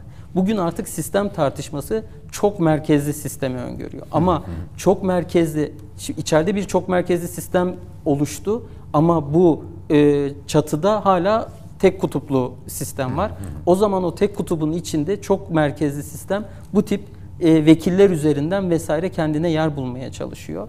O yüzden de e, işte Hizbullah gibi e, İran yani İran'ın ne kadar destek verdiğini bilemediğimiz, arkasının açık olması nedeniyle Suriye'den, Irak'tan ne kadar destek aldığını bilemediğimiz bir yapı haline geliyor. E, Bir taraftan da İsrail e, nefreti var. Bu da aslında bir laboratuvar gibi olacak bir deney meselesi. Çünkü Tüm dünyadan bir akın durumu da söz konusu olabilir. Lübnan çünkü biraz da hani içteki kaotik durumdan dolayı kimlerin geleceği ve savaşacağı meselesi de ciddi anlamda soru işareti İsrail aleyhine. Şimdi e, az önce söylendi şimdi Hamas gibi değil Hizbullah. Hamas kapalı bir yerdeydi. Hizbullah'ı e, çok fazla e, dahil eklenen e, insan olabilir burada. Bunu engellemek adına zaten İsrail bir yandan da Suriye'ye e, müdahale ediyor. Orada bombalamalar yapıyor. Biz şimdi Lübnan'da büyük bombalamalar olduğu için Suriye'yi görmüyoruz ama orada da operasyonlar yapıyor.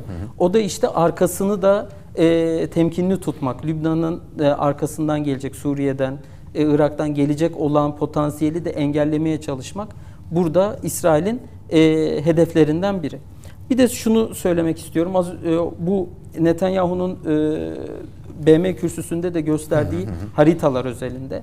Şimdi burada e, bir bütün e, İsrail göründü o haritalarda. Bu şimdi aslında Netanyahu'nun bilinçaltını yani İsrail devletinin şu anki yapısını gösterdi. Bu aslında e, uluslararası toplumun bir şeyleri anlaması için önemli faktörlerden biri anlamaya niyet Evet, ederlerse. evet. İkincisi de şu.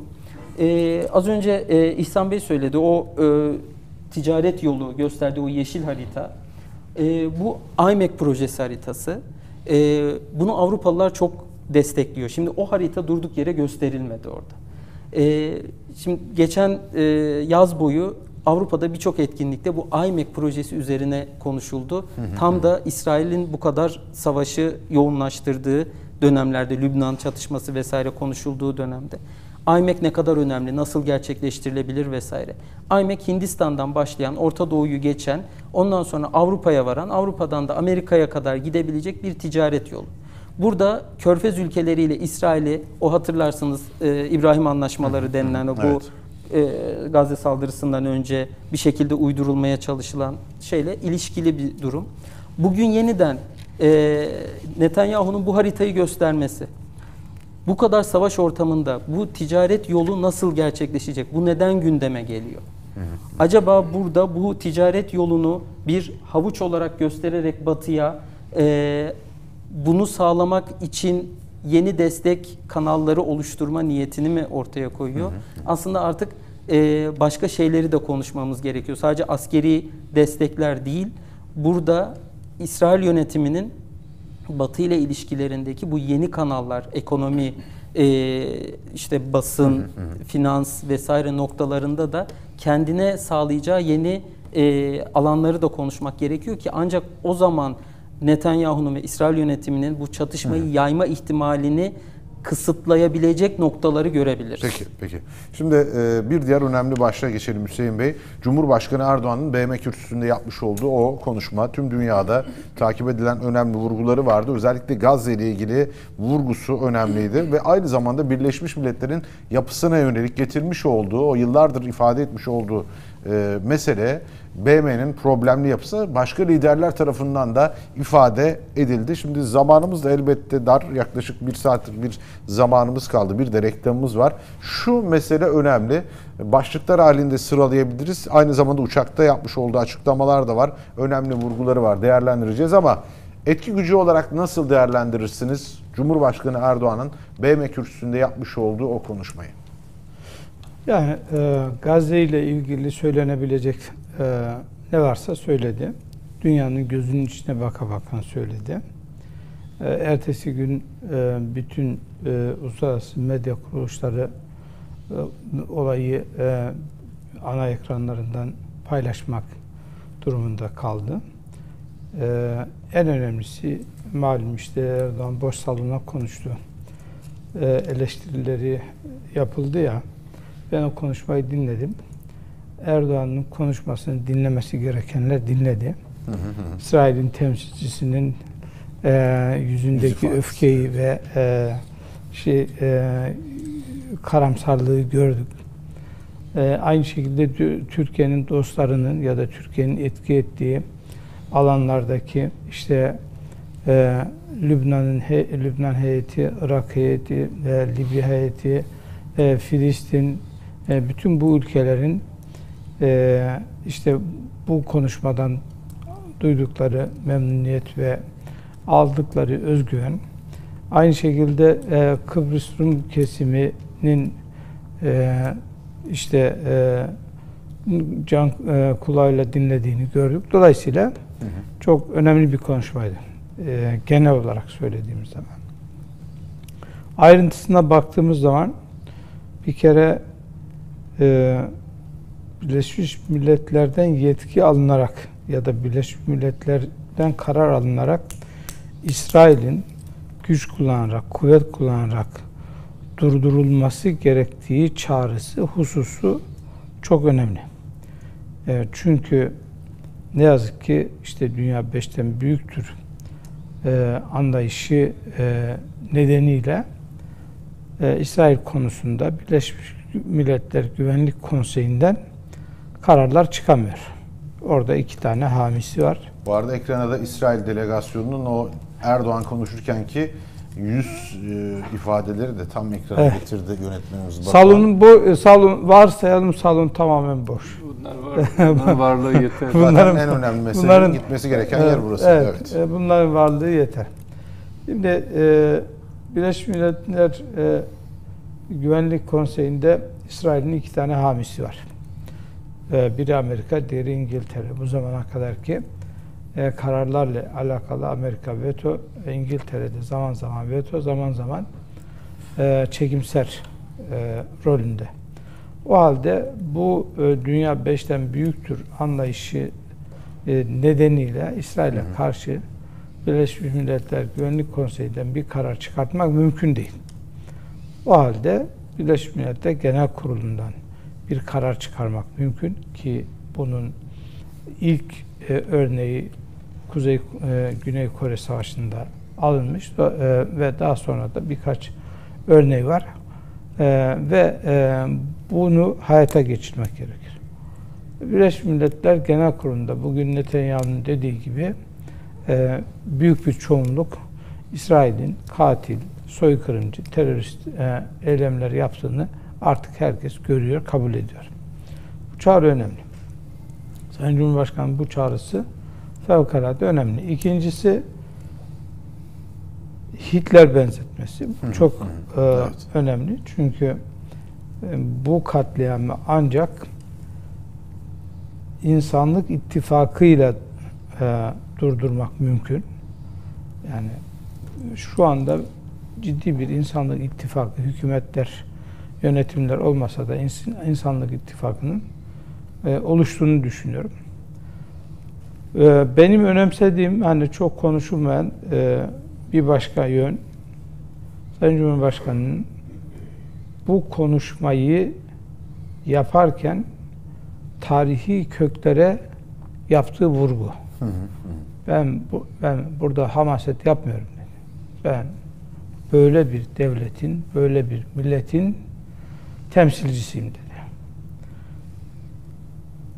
İslam düşmanlığına karşı olduğumuz gibi antisemitizme de karşıyız. Tarihimiz bununla, bu örneklerle dolu. Ee, dünyanın her yerinde e, Yahudiler zulme uğrarken onlara sahip çıkan Türk Bizim milleti olmuştur. evet. Bizim medeniyetimiz olmuştur. İspanya'dan, Fransa'sından. İkinci Dünya Savaşı öncesinde, sırasında yaşananlar, Hitler Almanya'sından kaçan Yahudilere yine sahip çıkan Türkiye Cumhuriyeti Devleti. Dolayısıyla Sayın Erdoğan'ın tarihten güç alarak, tarihe vurgu yaparak, tarihe atıfta bulunarak e, bu konuşmayı yapmış olması e, fevkalade önemli ki e, İsrail halkıyla bir problemimiz yok dedi zaten. Bu katliamcılarla e, bir sorunumuz var. E, bu e, yönüyle de bence çok kıymetli bir e, konuşmaydı. Bu konuşma tabii ki bugünden yarına etkisi e, olmayacak. E, nihayetinde devletler arasındaki meseleler süreçler neticesinde ancak sonuç verebilir. Ve Türkiye çok ciddi bir süreç birikimi gerçekleştiriyor. Yani çok ciddi bir şekilde bunu dünyanın hazmedeceği şekilde açık açık söyleyerek e, çok ciddi bir birikim oluşturuyor. Hatırlayalım İslam e, İşbirliği Teşkilatı dönem başkanlığının bizde olduğu dönemde Trump'ın Kudüs'te ilgili aldığı karar ve Birleşmiş Milletleri olağanüstü toplantıya çağırarak e, Türkiye'nin oluşturduğu karşı hamle ve o karşı hamlenin neticesinde e, İsrail'i destekleyen e, 8-10 ülke vardı. Zaten 3 tanesine ülke diyemezsiniz. E, e, e, işte e, bir avuç e, vatandaşı işte iki karış toprağı olan işte e, bir takım ülkelerin paravan ülkeleri e, idi.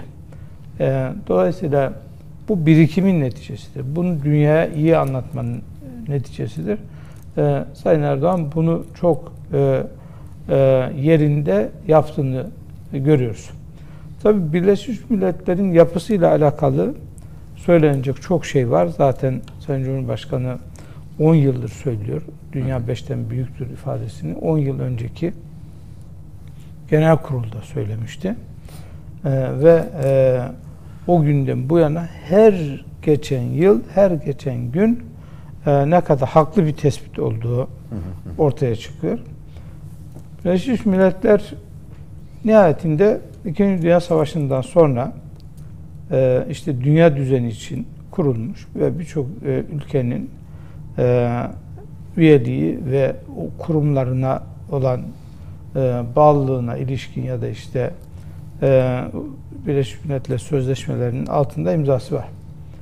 Ve e, bu Birleşmiş Milletler İsrail'in doğuşunun sebebidir. Yani evet. 1947 yılında e, İsrail işte dünyanın muhtelif yerlerinden gelen Siyonistlerin e, ki e, yıllarca göç olmasına rağmen orada istedikleri nüfusu elde edemediler. Ama e, nüfus itibariyle Araplardan, Filistinlilerden çok daha az olmalarına rağmen Birleşmiş Milletler Filistin topraklarının önemli bir kısmını İsrail'e vererek İsrail'in bir devlet oluşumunun önünü açtı. Şimdi demin e, söylediğimiz Şimdi tamam siz dediniz ki tamam sizi devlet olarak kabul ediyoruz dediniz. Peki bu devlet olarak kabul ettiğiniz ülkenin sınırları neresidir? Belli değil. Bunun belli değil. Dolayısıyla burada birinci kusurlu Birleşmiş Milletler'dir. 1947'de e, Filistinlilerin topraklarını dünyanın muhtelif yerlerinden göç eden Siyonist Yahudilere peşkeş çektiniz. Onların devlet kurmasına e, göz yumdunuz. E, tanıdınız ve o devletin sınırlarını ilan etmediniz. O devlete demediniz ki bak seni şu sınırlar içerisinde tanıyorum. Evet. Ve e, bu e, 70 yıldır yaşadığımız sıkıntının kaynağı tam bu. E, Birleşmiş Milletler en kritik zamanda dünya 3. savaşı konuştuğu bir dönemde bu mevzuyu çözmekle mükelleftir. Çözecek uluslararası kurum e, ve hukuk bu işletecek yapı Birleşmiş Milletler'dir ve Birleşmiş Milletler e, bu sorunu çözmeden onurunu, şerefini e, kurtarması mümkün değildir. Ve daha çok tartışılır. Ve Birleşmiş Milletler eğer bu sorunu çözemese dünyada çok daha büyük çatışmaların meydana çıkmasına da sebep olur. Peki yine bu konuyu konuşmaya devam edeceğiz. Aynı zamanda hem e, kürsüde verdiği mesajlar uçakta dönüşte gazetecilere yapmış olduğu açıklamalarda oldukça önemliydi. Kısa bir ara diyelim son bölümle devam edeceğiz.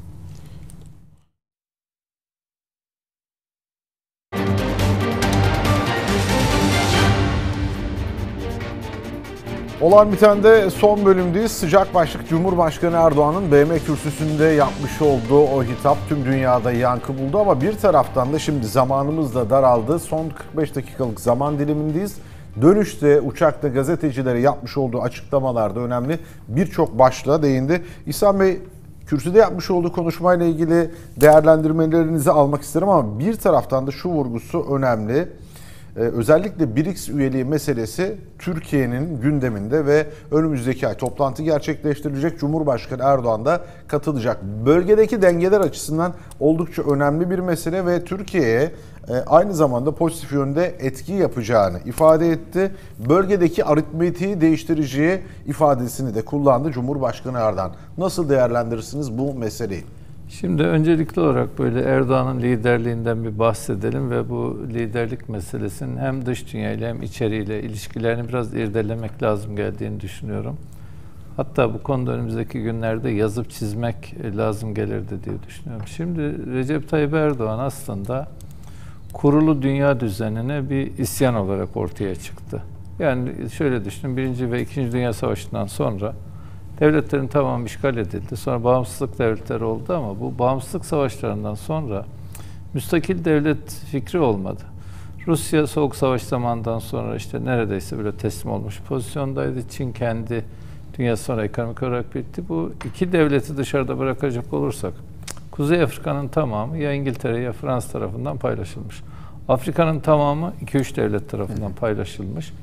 Latin Amerika ülkelerinde yani şey düşünün, mesela Brezilya'yı düşünün. Bir, bir ara dünyada dördüncü ihracatçı büyük ülkeydi Brezilya. Petrol üretiminde de çok ciddi bir potansiyel. Ama şöyle düşünün bu kadar nüfusu Amerika'dan büyük coğrafyası neredeyse ABD kadar bir devlet ama yine de işte istikrarsızlık, işte yönetim sorunları falan filan aslında bir yönüyle dünyada batılı devletlerin dışında bağımsız devlet olma iddiasında olan neredeyse devlet yoktu. İşte Avrupa Birliği de bir yönüyle aslında ABD'ye yarı bağımlı ki Batı sisteminin bir parçası. Şimdi hiç de beklenmeyen yani işte e, 1970'leri hatırlayın, e, biz hatırlayalım, siz zorunda zorunluluk yoktur sizin için. Türkiye ile şey arasındaki Yunan e, Türkiye Yunanistan'a eşitlenmiş bir ülkeydi ve bizim en büyük düşmanımız ve rakibimiz Yunanistan'dı. Şu an dikkat ederseniz Türkiye Yunanistan rekabetinde burun kıvırıyoruz Yunanistan'a. Özellikle Özal dönemindeki o Türkiye'nin zenginleşmesinden sonra durum fark etti. 40'a 60 mıydı, 60'a 40 mıydı? İşte e, ABD'nin bir silah yardımı vardı. Eski köynemiş silahlarını Yunanistan'a çok verecek, Türkiye'ye mi çok verecek? Bu büyük bir meseleydi dış politikada. Şimdi gelinen noktada bu kurulu dünya düzeni içerisinde, bu emperyalist düzen içerisinde bir ülke kendi potansiyelini fark etti, altyapısını güçlendirdi ve aynı zamanda da e, kendi iç siyasetinde güçlendikten sonra da bu dünyadaki bozuk düzene birisi çıktı, isyan etti. Şimdi bu isyan o kadar kıymetli bir isyan ki yani işte Allah nasip etti Afrika'nın bütün ücra köşelerine de gittik, ABD'ye de gittik. Onlarca yere gittik hatta AK Parti bu pandemi sonrası eğitim faaliyeti yaparken ben bir çerçeve çalışmıştım. AK Parti acaba %50 hitap ederek misyon partisi olabilir mi? Bir misyon kaybı var ya Cumhurbaşkanı ruh kaybı olarak söyledi. O zaman da bizim galiba o yazdığımız siyasal metin içerisinde üçüncü madde dış dünyada oluşan Türkiye algısının içeriye aktarılması. Çünkü bütün vatandaşlar dünyaya gitmiyor ya, ya da bırakın bütün evet. başta AK Partililerin çoğunun bile o dünyadaki Tayyip Erdoğan imajının haberi yok. İnanın gidin mesela Afrika'nın en ücra köşesinde bir insanla konuşun. O Erdoğan'ı ve Türkiye'nin kalkınmasını aslında uzun vadede kendi geleceği için de bir umut olarak görüyor. Gidin Pakistanlılarla oturun konuşun. Bir gün Pakistan da Türkiye gibi. Pakistan büyük bir ülke. Ya ordusu çok güçlü falan. Buradaki bu bağımsızlık meselesinin onlara da yansıyacağını düşünüyorum. Peki bunu nereden öğreniyorlar? İşte dünya beşten büyüktür. Şeyde Birleşmiş Milletler kürsüsünde gerek Afrikalıların adına ve o sömürgecilerin sömürge tarihine yani bu dönem sadece Gazze'yi konuştu ama Afrika'daki sömürgeleri gündeme getirdi. Bu, bu insanların kan emici olduğundan, kendilerinden başka bütün milleti sömürdüğünü yüzlerine haykırdı Sayın Cumhurbaşkanımız. Bu da aslında bir yönüyle dünyada bir Erdoğan. Yani normalde biz ekonomik olarak dünyanın 17. ekonomisiyiz. Hem Türkiye'nin tarihsel misyonu bu Erdoğan liderliği de birleşince neye dönüştü biliyor musun? Bizim şu an dünyada yani bunu dosta düşmana sorabiliriz. Sorsak ya yani belki bunu bir araştırmasında yapabiliriz. Dünyanın en etkili liderleri kimdir diye bir sıralama yapsanız. Amerika Birleşik Devletleri pozisyondan dolayı çıkar. Biden çıkar, Putin çıkar, Çin devlet başkanı çıkar. Ben um- zannediyorum ki yani dört lider arasına girer, beşincisi de yoktur dünyada zaten. Şu an hani önereceğiniz kimse var mı? Dünyanın beşinci güçlü lideri şudur diye. Yapılan yayınlarda öyle gösteriliyor. Şimdi baktığınız zaman şimdi bu kadar güçlü bir lider ve Türkiye'yi işte 23 yıldır yönetiyor ve neredeyse altyapı ve kalkınma sorunlarının tamamını çözmüş. Tam da böyle dünyanın 3. Dünya Savaşı'na evrileceği bir dönemde savunma sanayini akletmiş ve e, Türk ordusu zaten dünyanın büyük ordusuydu. Mühimmat bakımından da güçlendirdiğiniz zaman yenilmez bir orduya dönüşür. NATO'da ikinci büyük ordu. Şimdi bu liderin bir dış dünyadaki imajı bu. Hatta e, bir gün New York, şey New York'ta bir tren ga- garında bekliyorum. E, Bir kişi yanıma geldi böyle biraz Türkçe onun vardı az İngilizce de benim. Dedi ki Türk müsün dedi ama böyle nefretle. Ben de yüzüne baktım evet Türk'üm dedi. Er- Erdoğan'ı seviyor musun dedi. Ben çok seviyorum dedim. Anladım yani. Normalde seviyorum derim yani. O nefreti görünce. Dedi ki ben de nefret ediyorum. Ben de Siyonist misin dedim. Evet Siyonistim dedi. Peki nefretin kaynağı ne dedim. Niye bu kadar nefret ediyorsun? Bu- Çok ilginç bir şey söyledi. Dedi ki ya dünyada ne bir e, şeyde devlet başkanı ne bir televizyon kanalı e, İsrail aleyhine konuşmazdı. Bu adam o kadar ağır sözler söyledi, hakaretler etti ki artık İsrail aleyhine konuşmak bu adam, sayesinde sı- sıradanlaştı.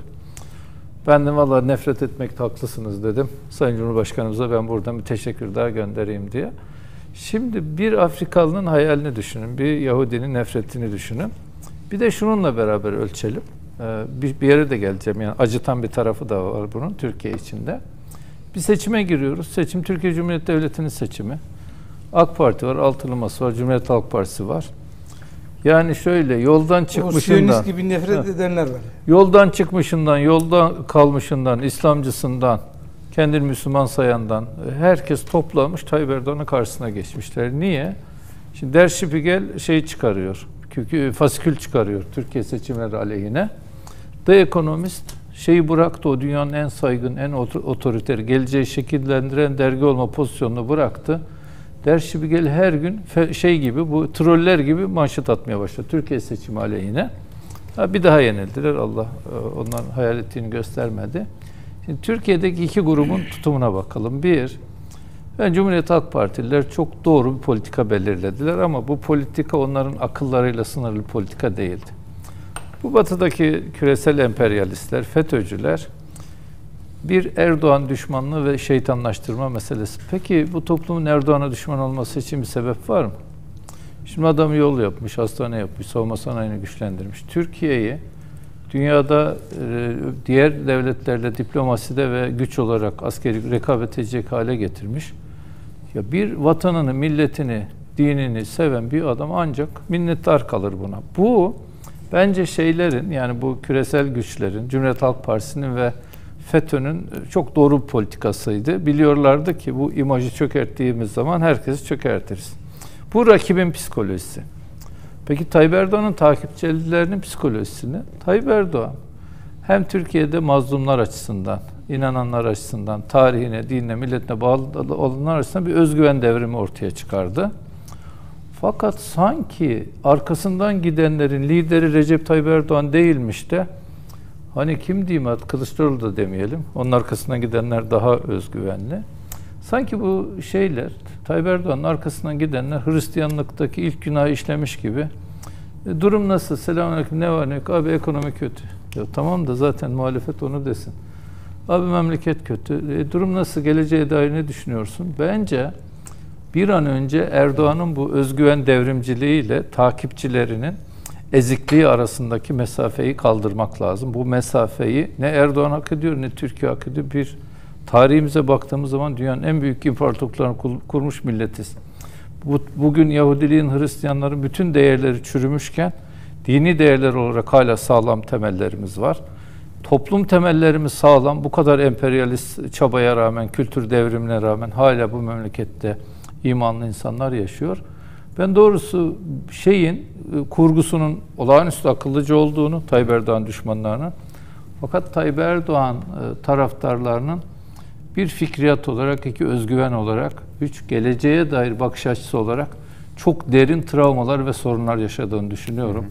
Ben herkes aynaya baksın o Erdoğan'ın e, kainatta, dünyada, Müslüman alemde mazlumların tamamında oluşturduğu özgüvenle kendi eziklikleri arasındaki mesafenin sebebini el birliğiyle araştırıp e, soruşturmamız lazım geldiğini düşünüyorum. Peki.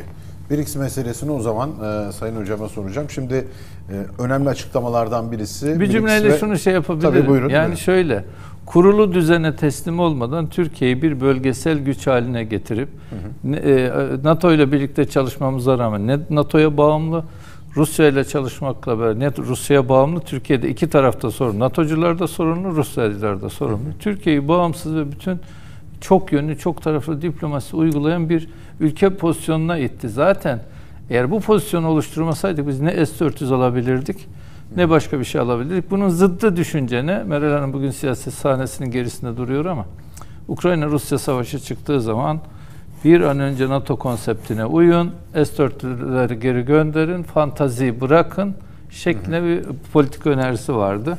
Demek ki Tayyip Erdoğan da dünyada en çok parlatan, liderliğini pekiştiren mesele Ukrayna-Rusya savaşındaki sağduyulu tutumu oldu. Hatırlatma yapalım. Savaşı bitirecek pozisyona geldik. İstanbul'daki toplantıda e, ki sonra Rusya açıklama yaptı. Biz anlaştık Ukrayna ile ama amiyane tabirle işi bozan taraf İngiltere oldu. Bunun açıklaması Bu da yapıldı. arada- yani dünya diplomasisinde bir başarı Türkiye tarafından üretiliyor.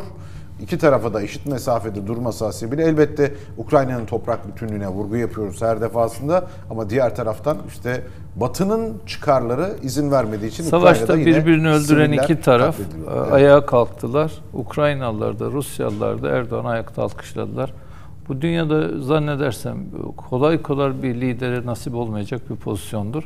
Ama şöyle bir şey var. Pazarlama açısından, satış açısından ertesi günü AK Partililer bu pozisyonu unutuyorlar ama Erdoğan'a düşmanlık edenler düşmanlıklarından vazgeçmiyor. Peki.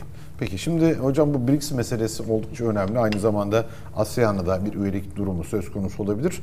NATO'ya üyeliğimiz var. Cumhurbaşkanı Erdoğan elbette NATO'dan vazgeçmiyoruz. Her zaman yönümüzün batıya dönük olduğunu ama aynı zamanda bulunduğumuz coğrafya itibariyle biz hem doğuyla batıyla ilişkiler kurabileceğimizi, kuzeyle güneyle bunun hani Türkiye'nin siyasetini değiştirmeyeceğini ifade ediyor. Nasıl değerlendirirsiniz? Önümüzdeki ayda BRICS toplantısı var. Aslında bu tam da dünyada yeni bir düzen kurulurken Türkiye'nin alacağı pozisyonun da ne kadar kıymetli ve anlamlı olduğunu gösteriyor. Yani gelecek yüzyıla açılan bir pencere aslında. Evet. Ee, Şimdi önümüzdeki ay Kazan'da, e, Rusya'da yapılacak hem de bu e, BRICS toplantısı. Türkiye oraya dahil olacak. Ee, Erdoğan'ın e, kürsüde yaptığı açıklama, BM kürsüsünde BRICS ile ilgili yaptığı açıklamada Türkiye'nin konumunu aslında çok bariz şekilde ortaya koymadı. BRICS ile ilişkiler derinleşecek dedi ama üyelik konusunu vesaire çok e, açık şekilde söylemedi. E, bunun bir taktik olduğunu e, tahmin ediyorum. E, o yüzden şu anda daha da dikkatle takip edilme e, olasılığı arttı kazandaki toplantının Türkiye açısından. Şimdi e, BRICS noktası e, aslında Türkiye'yi ne AB'den ne NATO'dan koparacak bir e, organizasyon değil BRICS. Öncelikle ticari bir yapılanma. Ticari zaten. bir platform. Zaten bir uluslararası örgüt statüsü de e, henüz yok. Yani bir genel sekreteri, bir e, iç yapısı vesaire yok. E, ortak kararlar alınıyor. Bu kararlara yönelik bir e, banka kuruldu şimdiye kadar. En somut yapısı bu. Kalkınma Bankası. Bununla ilgili e, asıl dertleri şu aslında.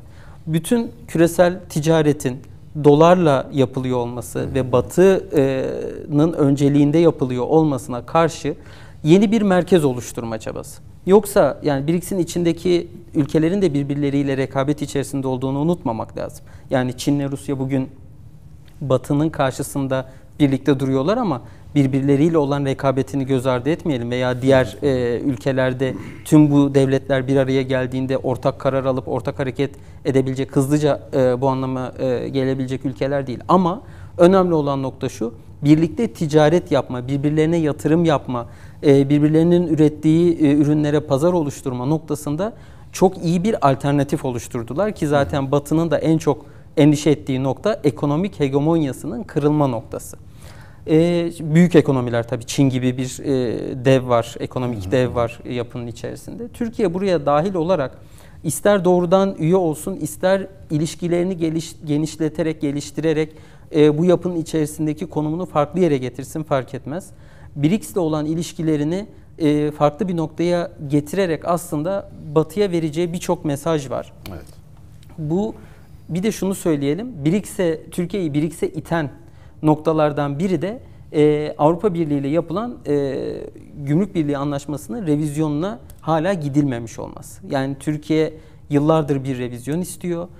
Karşı tarafla bir e, revizyon olması gerektiğine dair mutabakat var. Evet. Ama Türkiye'nin istediği revizyonlar hala Avrupa Birliği'nden gelmedi. E şimdi Türkiye e, o Gümrük Birliği Anlaşması'nın yapıldığı yıllardaki Türkiye değil.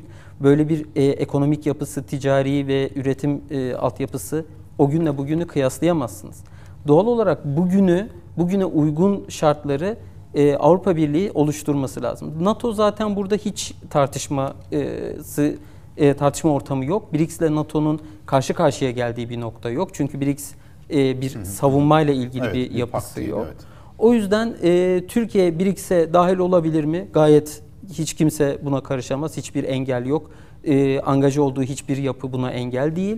E, ama Türkiye böyle bir yapıya girdiğinde aslında az önce söylediğim o çok merkezli sistem noktasında Türkiye bir e, konum göstermiş olacak. Yani Türkiye bu çok merkezli yapıda bir merkezin başı olarak e, diğer merkezlerle nasıl ilişki kurulması gerektiğini göstermiş olacak aslında.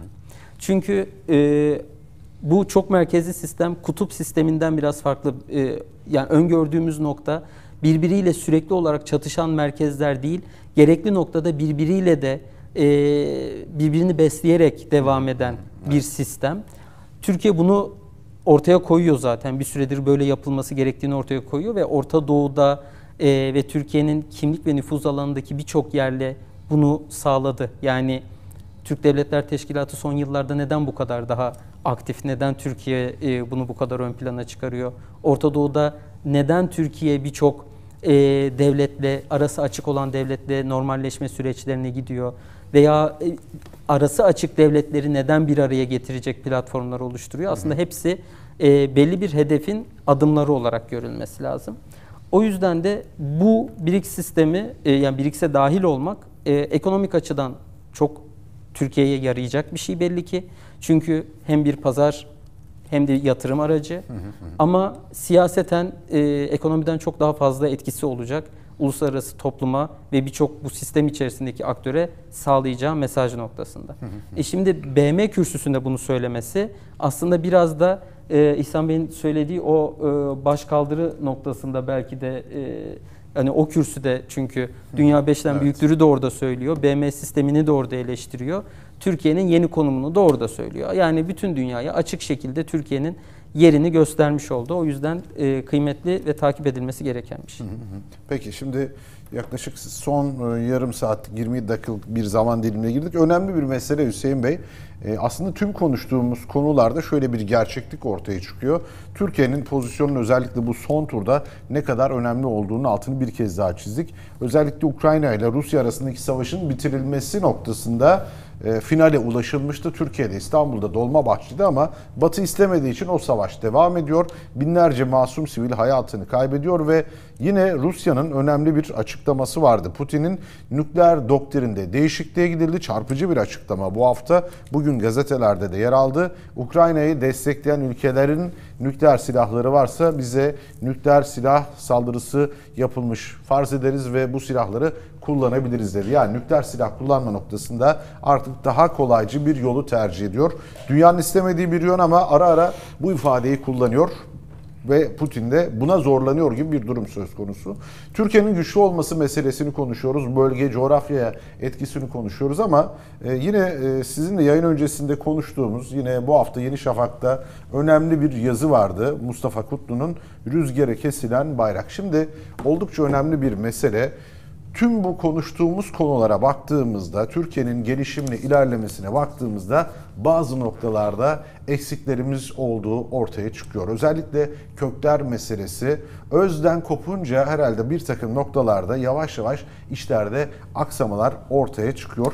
En önemli meselelerden birisi belki etik kısmını konuşmalıyız. Belki de Türkiye'de bu anlamda bir başka devrime ihtiyacımız var. O rüzgarı nasıl dolduracağız bayrağı tekrar?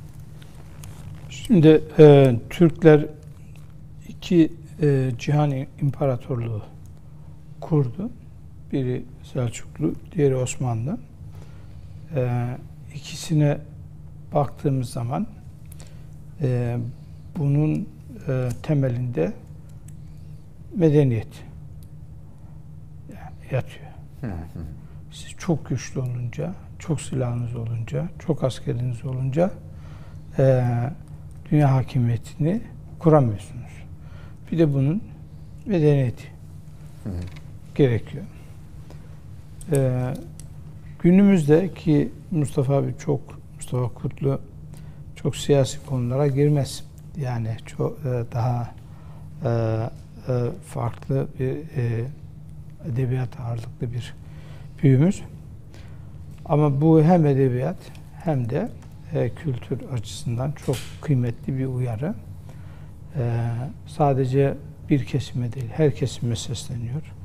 İşte bu ülkücüler nerede diyor, bu solcular nerede diyor, bu İslamcılar nerede diyor. Dolayısıyla bir şey üretmek lazım yani. Bir e, kültür üretmek lazım, bir medeniyet üretmek lazım. Maalesef günümüzün e, koşulları işte yapay zekaydı daha daha çok tüketim, daha daha büyük güç, e, daha fazla harcama e, ve e, e, şey yok. E, ne yazık ki bir medeniyet birikimi yok.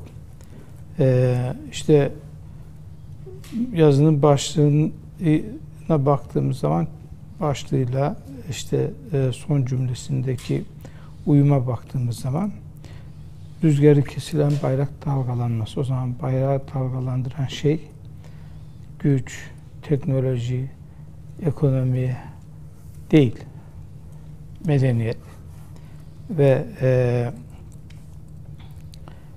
eğer e, bunlar yoksa sizde ne kadar güçlü olursanız olun, e, ne kadar e, ekonominiz iyi olursa olsun, ne kadar e, savunma sanayiniz güçlü olursa olsun bayrağınız dalgalanmaz ki yine Arif Nihat Asya'nın şiirine atıfta bulunarak bir bayrak rüzgarını bekliyor ifadesi işte e, bize bambaşka e, bir e, çağrıda bulunuyor. Bambaşka bir arayışta bulunuyor. Demin e, İhsan abi bahsetti. E, bunca şey oluyor Türkiye'de. Türkiye bunca zorluğu geride bıraktı. E, ama e, bir yere gelip takılıyoruz. O da e, kültürel iktidar ve Sayın Cumhurbaşkanı da zaman zaman bunu zaten söylüyor. E, bu bayrağı dalgalandıracak şey nedir? E, bunun üzerinde e, düşünmemiz gerekiyor. İşte e, Osmanlı yıkılalı e, yarım e, şey, bir asrı geçti.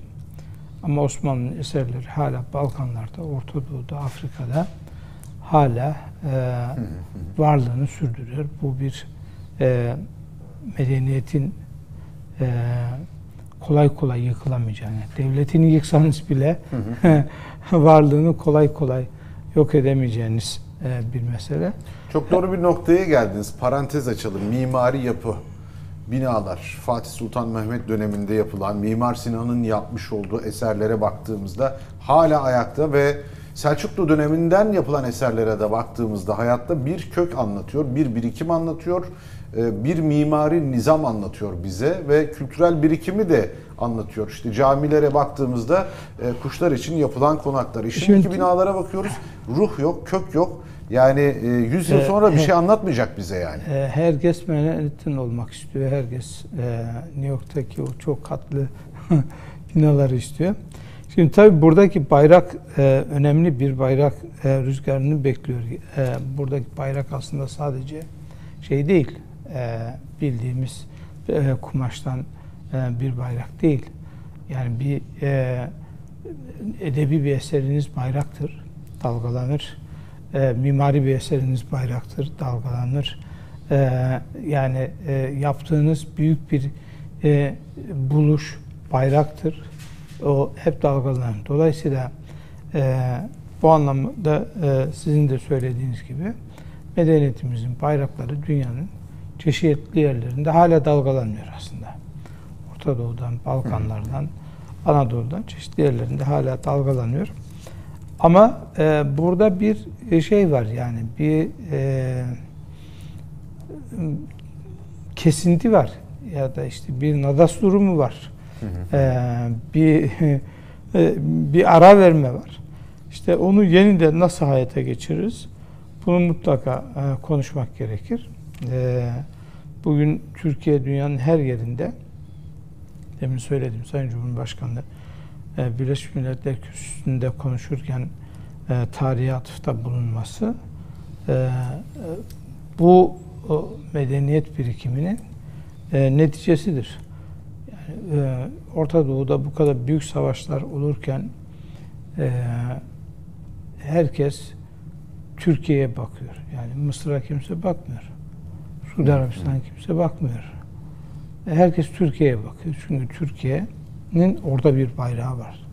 E, bu bayrağın dalgalanmaya ihtiyacı var.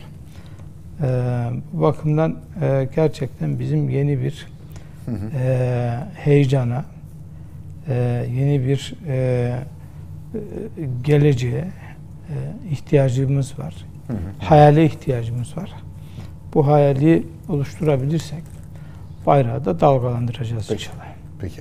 Şimdi İhsan Bey, e, Hüseyin Bey'in o bıraktığı noktadan devam edelim. Şimdi kök meselesi. Günümüz dünyasına baktığımızda aslında sadece bizim değil, Türkiye'nin problemi değil, tüm dünyada mevcut tüketim sistemi insanları tek tipleştirmeye, tek tip olduğu zaman bir fabrikada milyon tane tişört, aynı tişörtü üretirseniz o aynı tişörtü alacak milyonlarca insan vardır. Bu aslında sistem tipleştirmeyi bu kadar basit bir sebep üzerinden ilerletiyor ve köklerden uzaklaşınca, renklerden ayrıştırınca, uzaklaşınca tek tipleşmiş insanla tüketim meselesi daha kolay hale geliyor. Ama bir taraftan da toplumsal yapıyı ciddi anlamda tahrip eden bir durum söz konusu. Medeniyeti ortadan kaldıran büyük bir bombardıman altındayız. Özellikle hem sosyal medya olsun, hem televizyon yayınları, hem içerikler olsun. Adeta elimizde olanı da erozyona uğratan bir yapı var. Köksüzleşme durumu söz konusu. Kök neden önemlidir ve bireyin toplumla bağlantısını ve aidiyet duygusunu nasıl etkiler sizce? Şimdi e, Richard Sennett'in olacak zannedersem e, bu Batı aydınlanmasının ortaya çıkışını tarif ederken çok enteresan bir örnek veriyor. Diyor ki Orta Çağ'da kiliselerin içi aydınlıktı diyor. Sokaklar karanlıktı, izbeydi, pislik götürüyordu. Bu modernlik yani aydınlanma çağı geldi diyor. Aslında sokaklar aydınlandı fakat kilisenin içi karardı. Ee, aslında o kilisenin içinin kararmasını insanın içinin kararmasına benzetiyor. Aslında biz e, özellikle dine karşı, dinlere karşı, tarihe karşı, medeniyete karşı ortaya çıkmış bu Batı modernitesi bizi hasarlı bir insan ve hasarlı değerler bıraktı. Burada zaten bu batılı, mesela şöyle düşünün. Batılılar geldiler. Topraklarımızı işgal ettiler. Yöneticilerimi teslim aldılar. Bütün İslam ülkelerini diktatörlerle donattılar. Peki hala daha niye bizimle savaşıyorlar?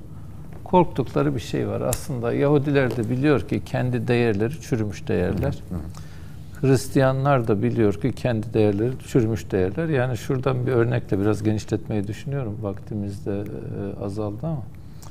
Şimdi Gazze'de siz çocuk öldürüyorsunuz, insanları bombalıyorsunuz. Oradaki insanların metanetinden New York'taki insanlar Müslüman oluyorlar. Almanya'daki insanlar Müslümanlar Müslüman oluyorlar. Ha burada ne ortaya çıkıyor? Bizim e, işte Cenab-ı Hak Kur'an-ı Kerim'i kıyamete kadar koruyacağına göre son hak din, son hak peygamber e, bize ait olduğuna göre yani bütün insanlık için de hani bu bugün biz Müslümanız.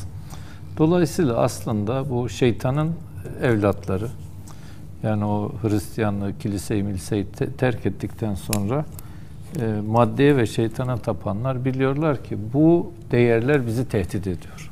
Eninde sonunda bu değerler derlenip toparlanıp bizi yok edebilir. Şimdi Henry Kissinger'in bu Yeni Dünya Düzeni kitabında iki konuya önemli bir şekilde vurgu yapıyor. Bir, diyor ki İslam'ın yayılması o kadar hızlı, o kadar çabuk oldu ki diyor. Yani bu kadar kısa zamanda bu kadar yayılma galiba dünya tarihinde görülmüş bir şey değildir. İkincisi Osmanlı'nın yükselişi. İkisi birbirine çok benziyor. Osmanlı diyor devleti kurulduktan sonra koşar adım batıya doğru ilerledi. Batı da onun karşısında geriledi. Ha bir gün baktık ki diyor Almanya'dan Kuzey Afrika'ya kadar bütün Avrupa toprakları Yunanistan dahil. Ee, şey biz İspanya ile Portekiz'de savaşlarımız var düşünün. Şu an Portekiz o kadar uzak bir yerde ki gideceksiniz, bulacaksınız, savaşacaksınız. Almanya sınırında savaşlarımız var. Avusturya Macaristan İmparatorluğu'nda zaten bizim topraklarımız neredeyse. Şimdi bu bugün gelinen noktada bir aslında batılı devletler dini değer olarak İslam'ın yok edilmezse baş edemeyeceklerini biliyorlar. İki, ta yani Cumhuriyet kurulduğundan bugüne kadar bu Türkler eğer bir gün tarihlerinden haberdar olurlarsa, pozisyonlarla anlarlarsa, bu Ertuğrul Efendi'nin çok ilginç bir mülakatı vardı. Ee, Ertuğrul Efendi Osmanlı hanedanının böyle aklı başında temsillerinden birisiydi. Geçtiğimiz yıllarda vefat etti. Sayın Cumhurbaşkanımız cenazesine katıldı. Çok entelektüel birisiydi. Diyor ki Türk Türk gençlerinin aslında çok büyük çaba içerisinde olmalarına gerek yoktur. Tarihlerinden haberdar olurlarsa, tarihleriyle bugünkü durumları arasında bir mukayese yapmış olurlarsa tekrar o geleceği aramaya başlarlar. Şimdi geçtiğimiz günlerde ben e, yaklaşık bu Mustafa Kutlu e, e, abimizin yazıp ettiğini ve birkaç yıldır aslında bunun sancısını çekip dillendiren ve özellikle de şeyin mücadele azminin bireyden, sivil toplum örgütlerinden, vakıflardan, cemaatlerden, derneklerden başlamasını düşünenlerden birisi. Hemen hemen her oturduğumuz masada da konumuz bu. Şimdi e, Mavera Ünnehir'den e, insanlar bir birikimle çıktılar. Semerkant'tan, Taşkent'ten, Buhara'dan. Şimdi tarihi birikim vardı, entelektüel birikim vardı, tasavvuf birikimi vardı, adalet vardı, ahlak vardı. Şimdi Buhara'dan derviş bir çıkıyor ta Romanya'ya kadar gidiyor orada şeyini kuruyor. Yani çadırını ya da evini kuruyor. Orada insanlar irşad ediyor. Mimar gelip işte Aydınoğlu İsa Bey Camii'ni şeyde yapıyor. E, Birgi'de yapıyor. Bursa'da cami yapıyor. Mühendis geliyor ötekini yapıyor ve komutanlar çıkıyorlar şeyin yani o şey Mağara Nehir bölgesinden Selçuklu Devleti'nin önce karar pardon şey Abbasilerin önce karargahını oluşturuyorlar. Sonra devlet kademesine geçiyorlar. Arkasından şey başlıyor. Aslında Hüseyin Bey iki tane imparatorluktan bahsetti ama sırf 15. 14. 16. yüzyıl arası Timur İmparatorluğu bütün e, uzak Asya, şey, o, bütün e, Türk Türk devletlerinin olduğu bölge. Hemen Rusya'nın topraklarında Altınordu Devleti, burada Osmanlı Devleti ve Mısır'da da Memlükler. Ya dört tane Türk İmparatorluğu var aynı anda ve neredeyse dünyanın yarı toprakları. Ha şimdi bu iki potansiyelden bir şeyin İslam'ın sağlam temellerinden, değerlerinden, e, umdelerinden, iki Türklerin devlet kurma vasfından korku var. Peki acaba düşmanın farkında olduğu kadar biz farkında mıyız? Şu an şöyle bir durum var. Belki de Mustafa abinin vurgu yaptığı şey odur. Türkiye'de bir iktidar var. Türkiye'nin en geniş e, or, örgütlenme sahip bir parti var. Hükümetin kanalları var, kültürü var, şu var, var, var, var, var.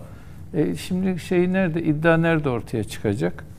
Bir rüya göreceksiniz, bir ütopyanız olacak. Ütopyanızın peşine düşeceksiniz. Biz öğrencilik yıllarımızda dünyayı tek başımıza değiştireceğimize dair bir inancımız vardı. Ama bireysel olarak hala bu inancı ben taşıyorum. Cenab-ı Hakk'a şükürler olsun. Bir de yani kurtarıcı ya da e, Mehdi Hazretleri gelecek bizi kurtaracak şu bu falan filan. Abi ben şunu düşünüyorum. Önce fert kendi bir rüya görecek. Bu rüyayı ailesiyle birlikte görecek. Cemiyet hayatında göreceğiz. Bu devlet hayatına teşmil edecek. Ve kurtarıcılar değil abi. Bütün o fertlerin kolektif şuuru.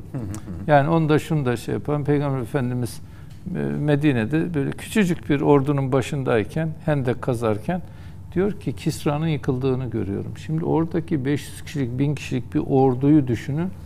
Bir de Sasani İmparatorluğu'nun gücünü düşünün. Kisra'nın sarayının yıkıldığını görüyorum. Bu nedir? Bir ütopyadır, idealdir. İkinci şeyi vurduğu zaman mızrağı kayaya ne diyor? Roma sütunlarını görüyorum. Ve çok da zaman geçmeden dört halifenin aslında işte dördüncüsü mü, beşincisi mi Muaviye zamanında İslam orduları gelip İstanbul'un kıyılarına dayanmış yani. Evet. Herhalde bir 30 yıl, 40 yıl ya vardır ya yoktur dört halife Hazreti Peygamber'in o Hendek bakarız onun tarihine. Ha demek ki e, biz geçtiğimiz günlerde ben Yeni Şafak'ta bir yazı kalemi almıştım. Çok da ilgi gördü. Ya gavura teslim olacağız ya bir imparatorluk kuracağız. Mustafa abinin o bayrağı rüzgar tanımını biz de bu cümleyle tanımlayabiliriz. Peki.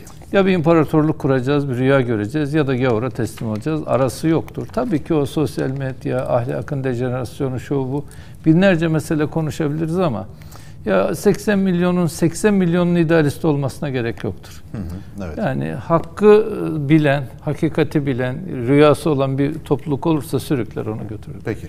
Şimdi e, son sözü size vereceğim hocam. Şu mesele yani bayrağın dalgalanması bir ülkede e, güç timsali ülkenin güçlü ve müreffeh olduğu anlamını taşır. Yani o anlamda simgeleşmiştir. Böyle bir simgesi vardır. Elbette toplumdan bayrağı ve devleti ayrı düşünemeyiz. Toplumun az önce İhsan Bey'in söylediği gibi o daha ileri gitme motivasyonu ve aidiyet duygusu. Ben bu devleti, bu coğrafyayı, bu ülkeyi daha ileri nasıl götürebilirim meselesi. Elbette bunu tüm topluma yaymak belki tüm devletlerin idealidir ama sayısını arttırmak da önemli bir mesele. Ee, sizce bu motivasyon meselesini nasıl kurabiliriz? Çünkü Az önce de söylediğimiz meseleden dolayı yani yaşam alanlarımızda belki de maruz kaldığımız sosyal medyada ya da mevcut medya düzeni içerisinde es geçtiğimiz bir mesele var. Bizim motivasyonumuzu arttıracak unsurları çoğaltmak yerine tam tersine azaltan bir ne yazık ki sistem işliyor. Hepimiz de isyan ediyoruz ama son noktada çok da fazla bir adım atıldığını göremiyoruz ne yazık ki. Ee, şuradan başlayacağım yani çok güzel bir tarihi perspektif e, konuldu. Ben e, bu medeniyet e, unsurunun aslında e, bugünkü halinden başlayacağım sor, e, sor, sorduğunuz soruya. Yani şimdi medeniyeti bir sıvıya benzetiyor birçokları. E, doğudan batıya doğru aktı e, ve batı medeniyet çünkü bulduğu kanalda, bulduğu e, yere doğru, e, hazır olan yere doğru akar. Ee, doğunun batının yükseldiği zamanda batıya doğru aktı ama artık tekrar doğuya doğru akacağı bir dönem. Şimdi burada tabii batının bu inşa edilmiş olan doğunun e, doğudan da aldığı o biriktirerek getirdiği medeniyet olgusunda inşa edilmiş olan gerçekliklerden artık uzaklaşmış. Kendisinin de dahil et- olduğu kurallardan, unsurlardan uzaklaşmış olması. Şimdi bu tekrar doğuya doğru akarken burada tabii önemli faktörlerden biri de doğudaki e, yeni uyanışlar. Yani bu Türkiye'de de e, var, Türk toplumunda da var, E, Müslüman toplumlarda da e, görüyoruz bunu ve daha uzak Asya'daki toplumlarda da yeni uyanışları görüyoruz. Bu doğuya doğru akışı e, gerektir e, sağlıyor. E, şimdi bu süreçte tabii e, bu doğuya doğru akarken e, bazı şeyler de birlikte geliyor. O gelen şeyler aslında bu medeniyeti inşa ederken o bozmaya başladıkları noktalar da geliyor. Şimdi oraları e, doğru tespit edip doğru şekilde uzaklaştırmak gerekiyor. Yani biz bugün e, maalesef ki bir nesil güvenliğinden bahsetmek durumunda kalıyoruz Evet, artık. evet. Bu nesil güvenliğinin oluşturulması için gereken tam da bu kök mevzusu önemli. Çünkü e, doğunun birik doğudan da biriktirerek gelen medeniyet batıda, batıdan tekrar doğuya döndüğünde o doğudaki köklerle beslenmek zorunda yine. E, Türk toplumunun kökleriyle mesela buradan bahsediyorsak Türk toplumunun kökleriyle yeniden beslenmek zorunda. Ancak o şartlarda bu medeniyet yeniden burada e, şekillenebilir. E böyle baktığınızda evet devletler bazında önemli ama devletler bu medeniyetin inşa sürecinde e, daha kısıtlayıcı kalıyor. Daha o yüzden toplum, millet e, kültürü daha ön planda tutulması gerekiyor. E, o şartlarda da yine Türkiye özelinde söylersek Türk toplumunun e, belli hedefleri e, ön plana çıkması gerekiyor. Bu hedefler e, her zaman böyle e, çok uzak hedefler olması gerekmiyor. E, veya bazılarının eleştirdiği şekilde e, batıdaki gibi e, emperyal hedefler vesaire şeklinde eleştirilen noktalarda değil. Türkiye'deki hedefler aslında köklerdeki hedefler. Yani e, bir mefku, mefkurenin oluşması, burada bir e, hedef, e, bir şeyin inşa edilmesi, bir amacın inşa edilmesi. Bu amaç e, Türkiye'de gittikçe artıyor, Türk toplumunda artıyor ve bu amaç e, aynı zamanda diğer noktalarla da teması sağlıyor. Türk top, e, diğer Türk toplumlarıyla, Müslüman toplumlarla da ilişkiyi güçlendiriyor.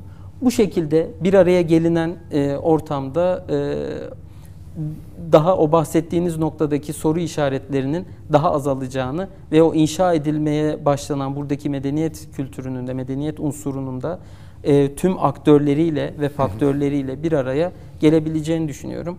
E, o şartlarda da zaten yavaş yavaş hissettiğimiz e, bu doğuya doğru e, gelen e, bu medeniyet unsurunda kendi hikayelerimizi yazma noktasına geldiğimizi de görüyoruz zaten. Bu hikayeler kültürel anlamda olduğu gibi sosyal anlamda, politik anlamda bu hikayeler o işte aslında program başından beri konuştuğumuz yeni hedefler koyma, uluslararası sistem içerisinde yeni bir sistem inşa etme veya Türkiye'nin yerini belli etme falan bunların hepsi aslında e, bahsedilen noktada değerlendirilebilir. Orada da sanırım şu mesele oldukça önemli. Yani bir siyasi partinin liderinin yani öyle addedelim e, ortaya koymuş olduğu hedefler değil de Türkiye'de tüm satha yayılacak hedefler meselesi oldukça Doğru, önemli. doğru. Çünkü siyaset işin içine girince ister istemez bir Karşıtlık meselesi ortaya çıkıyor ama Türkiye son noktada 85 milyon bir 85 milyonluk bir ülke ve e, şöyle bir varsayımla biz hareket ediyoruz. Bu memleketin e, her bir ferdi bu memleketi sever ve sahip çıkar. E, Dolayısıyla bu büyük gücün daha kıymetli olduğu meselesi önemli. Son birkaç dakika girdik. Şu eğitim meselesine de değinmek lazım. Galiba hani Türkiye'de çıkmaz noktalardan birisi de o. Biz acaba nerede yanlış yapıyoruz da sürekli bir sistemde bir değişiklik meselesi de gündeme geliyor ve medya meselesi. Büyük erozyondan bahsediyoruz. Ne yapmak lazım iki alanda sizce kısaca? Şimdi e, medya meselesi özellikle sosyal medya yani e, konvansiyonel medyada Gündüz çok değişen kuşağı bir şey. çok konuşuluyor ve e, Ebu Bekir Şahin de Rütük Başkanı Sayın Ebu Bekir Şahin de bu rahatsızlığını dile getirdi. Yani artık en üst merci bile bu rahatsızlığı dile getiriyorsa Narin ciddi bir problem. şunu gösterdi. Aslında gündüz, gündüz kuşağı programları bütün topluma sirayet etmiş.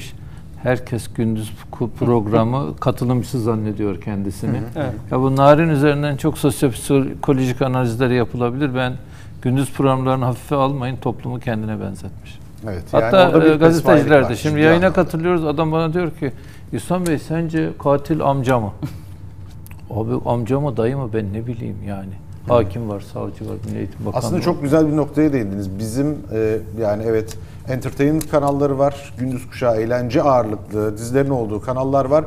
Bir de haber kanalları var. Rekabet aslında iyiye doğru evrilmesi gerekirken haber kanallarında yıllarca çalışmış olan hani bazı önde gelen isimlerin o yani akıma kapılıp gündüz kuşağında pespaye Yalnız hallere şeye, girdiğini görüyoruz. Çok gündüz- acı bir durum. Gündüz programlarına aday olabilirler. O kadar senaryo yazıldı ki ya. Evet ne yazık ki. Ama şunu söyleyelim, e, İhsan Bey'in dediği doğru. Yani toplumun istediğini verme noktasında aslında gündüz programları. O isteği kim bu hale getirdi, kim oluşturdu? E, oraya bakmak lazım. Yani Şiddet ama her zaman izlenen bir şey her toplumda. Bunu yani biraz seçme meselesi. E, Siz evet. belirleyeceksiniz yani son noktada izlenen her şeyin iyi olduğu elbette Maalesef. e, doğru değil. O gerçeği görmek Maalesef. lazım. yani. İşte o yüzden yani e, böyle bir talep olduğu için bu yayınların artması bu yay, doğal olarak da talebi daha çok artırdı. Yani bir kısır döngü haline getirdi. Burada da aslında o e, ikili sorduğunuz sorunun ilk aşaması yani eğitim e, konusu belki işin içine giriyor. E, eğitim dediğiniz şey e, sadece e, işte matematik, e, fen, fizik değil. evet. Burada başka şeyleri anlamlandırma, e, tahayyül etme, e, yorumlama kapasitesinin oluşturulması önemli. Evet. O oluşturulursa zaten doğru yanlış e, konuşulmaya başlanır. Yoksa e, diğer şeyler sadece bilgi yükü haline gelir. Peki, peki çok teşekkürler. Son başlığımız oldukça önemli. Aslında tüm konuştuğumuz meselelerin üzerinde bir şemsiye diyebiliriz. Memleket meselesi her birimiz için önemli bir e, mesele. Yani bu memleketin dertleriyle dertleniyoruz, hemhal oluyoruz. E, Bu memleketin daha ileri noktaya gitmesi tek derdimiz ama problemli alanlar olduğu da gerçek. Yeni nesiller yetiştiriyoruz ve bu motivasyon meselesinin çok da yüksek olmadığını görüyoruz ve aslında gelecek nesiller bu ülkenin sahipleri olduğuna göre bu işi düzeltmemiz gerekiyor diyelim ve bu önemli başlıkla noktalayalım. Önümüzdeki cuma akşamında yine 20.45'te olan bitenle karşınızda olacağız. Tekrar görüşünceye dek hoşçakalın.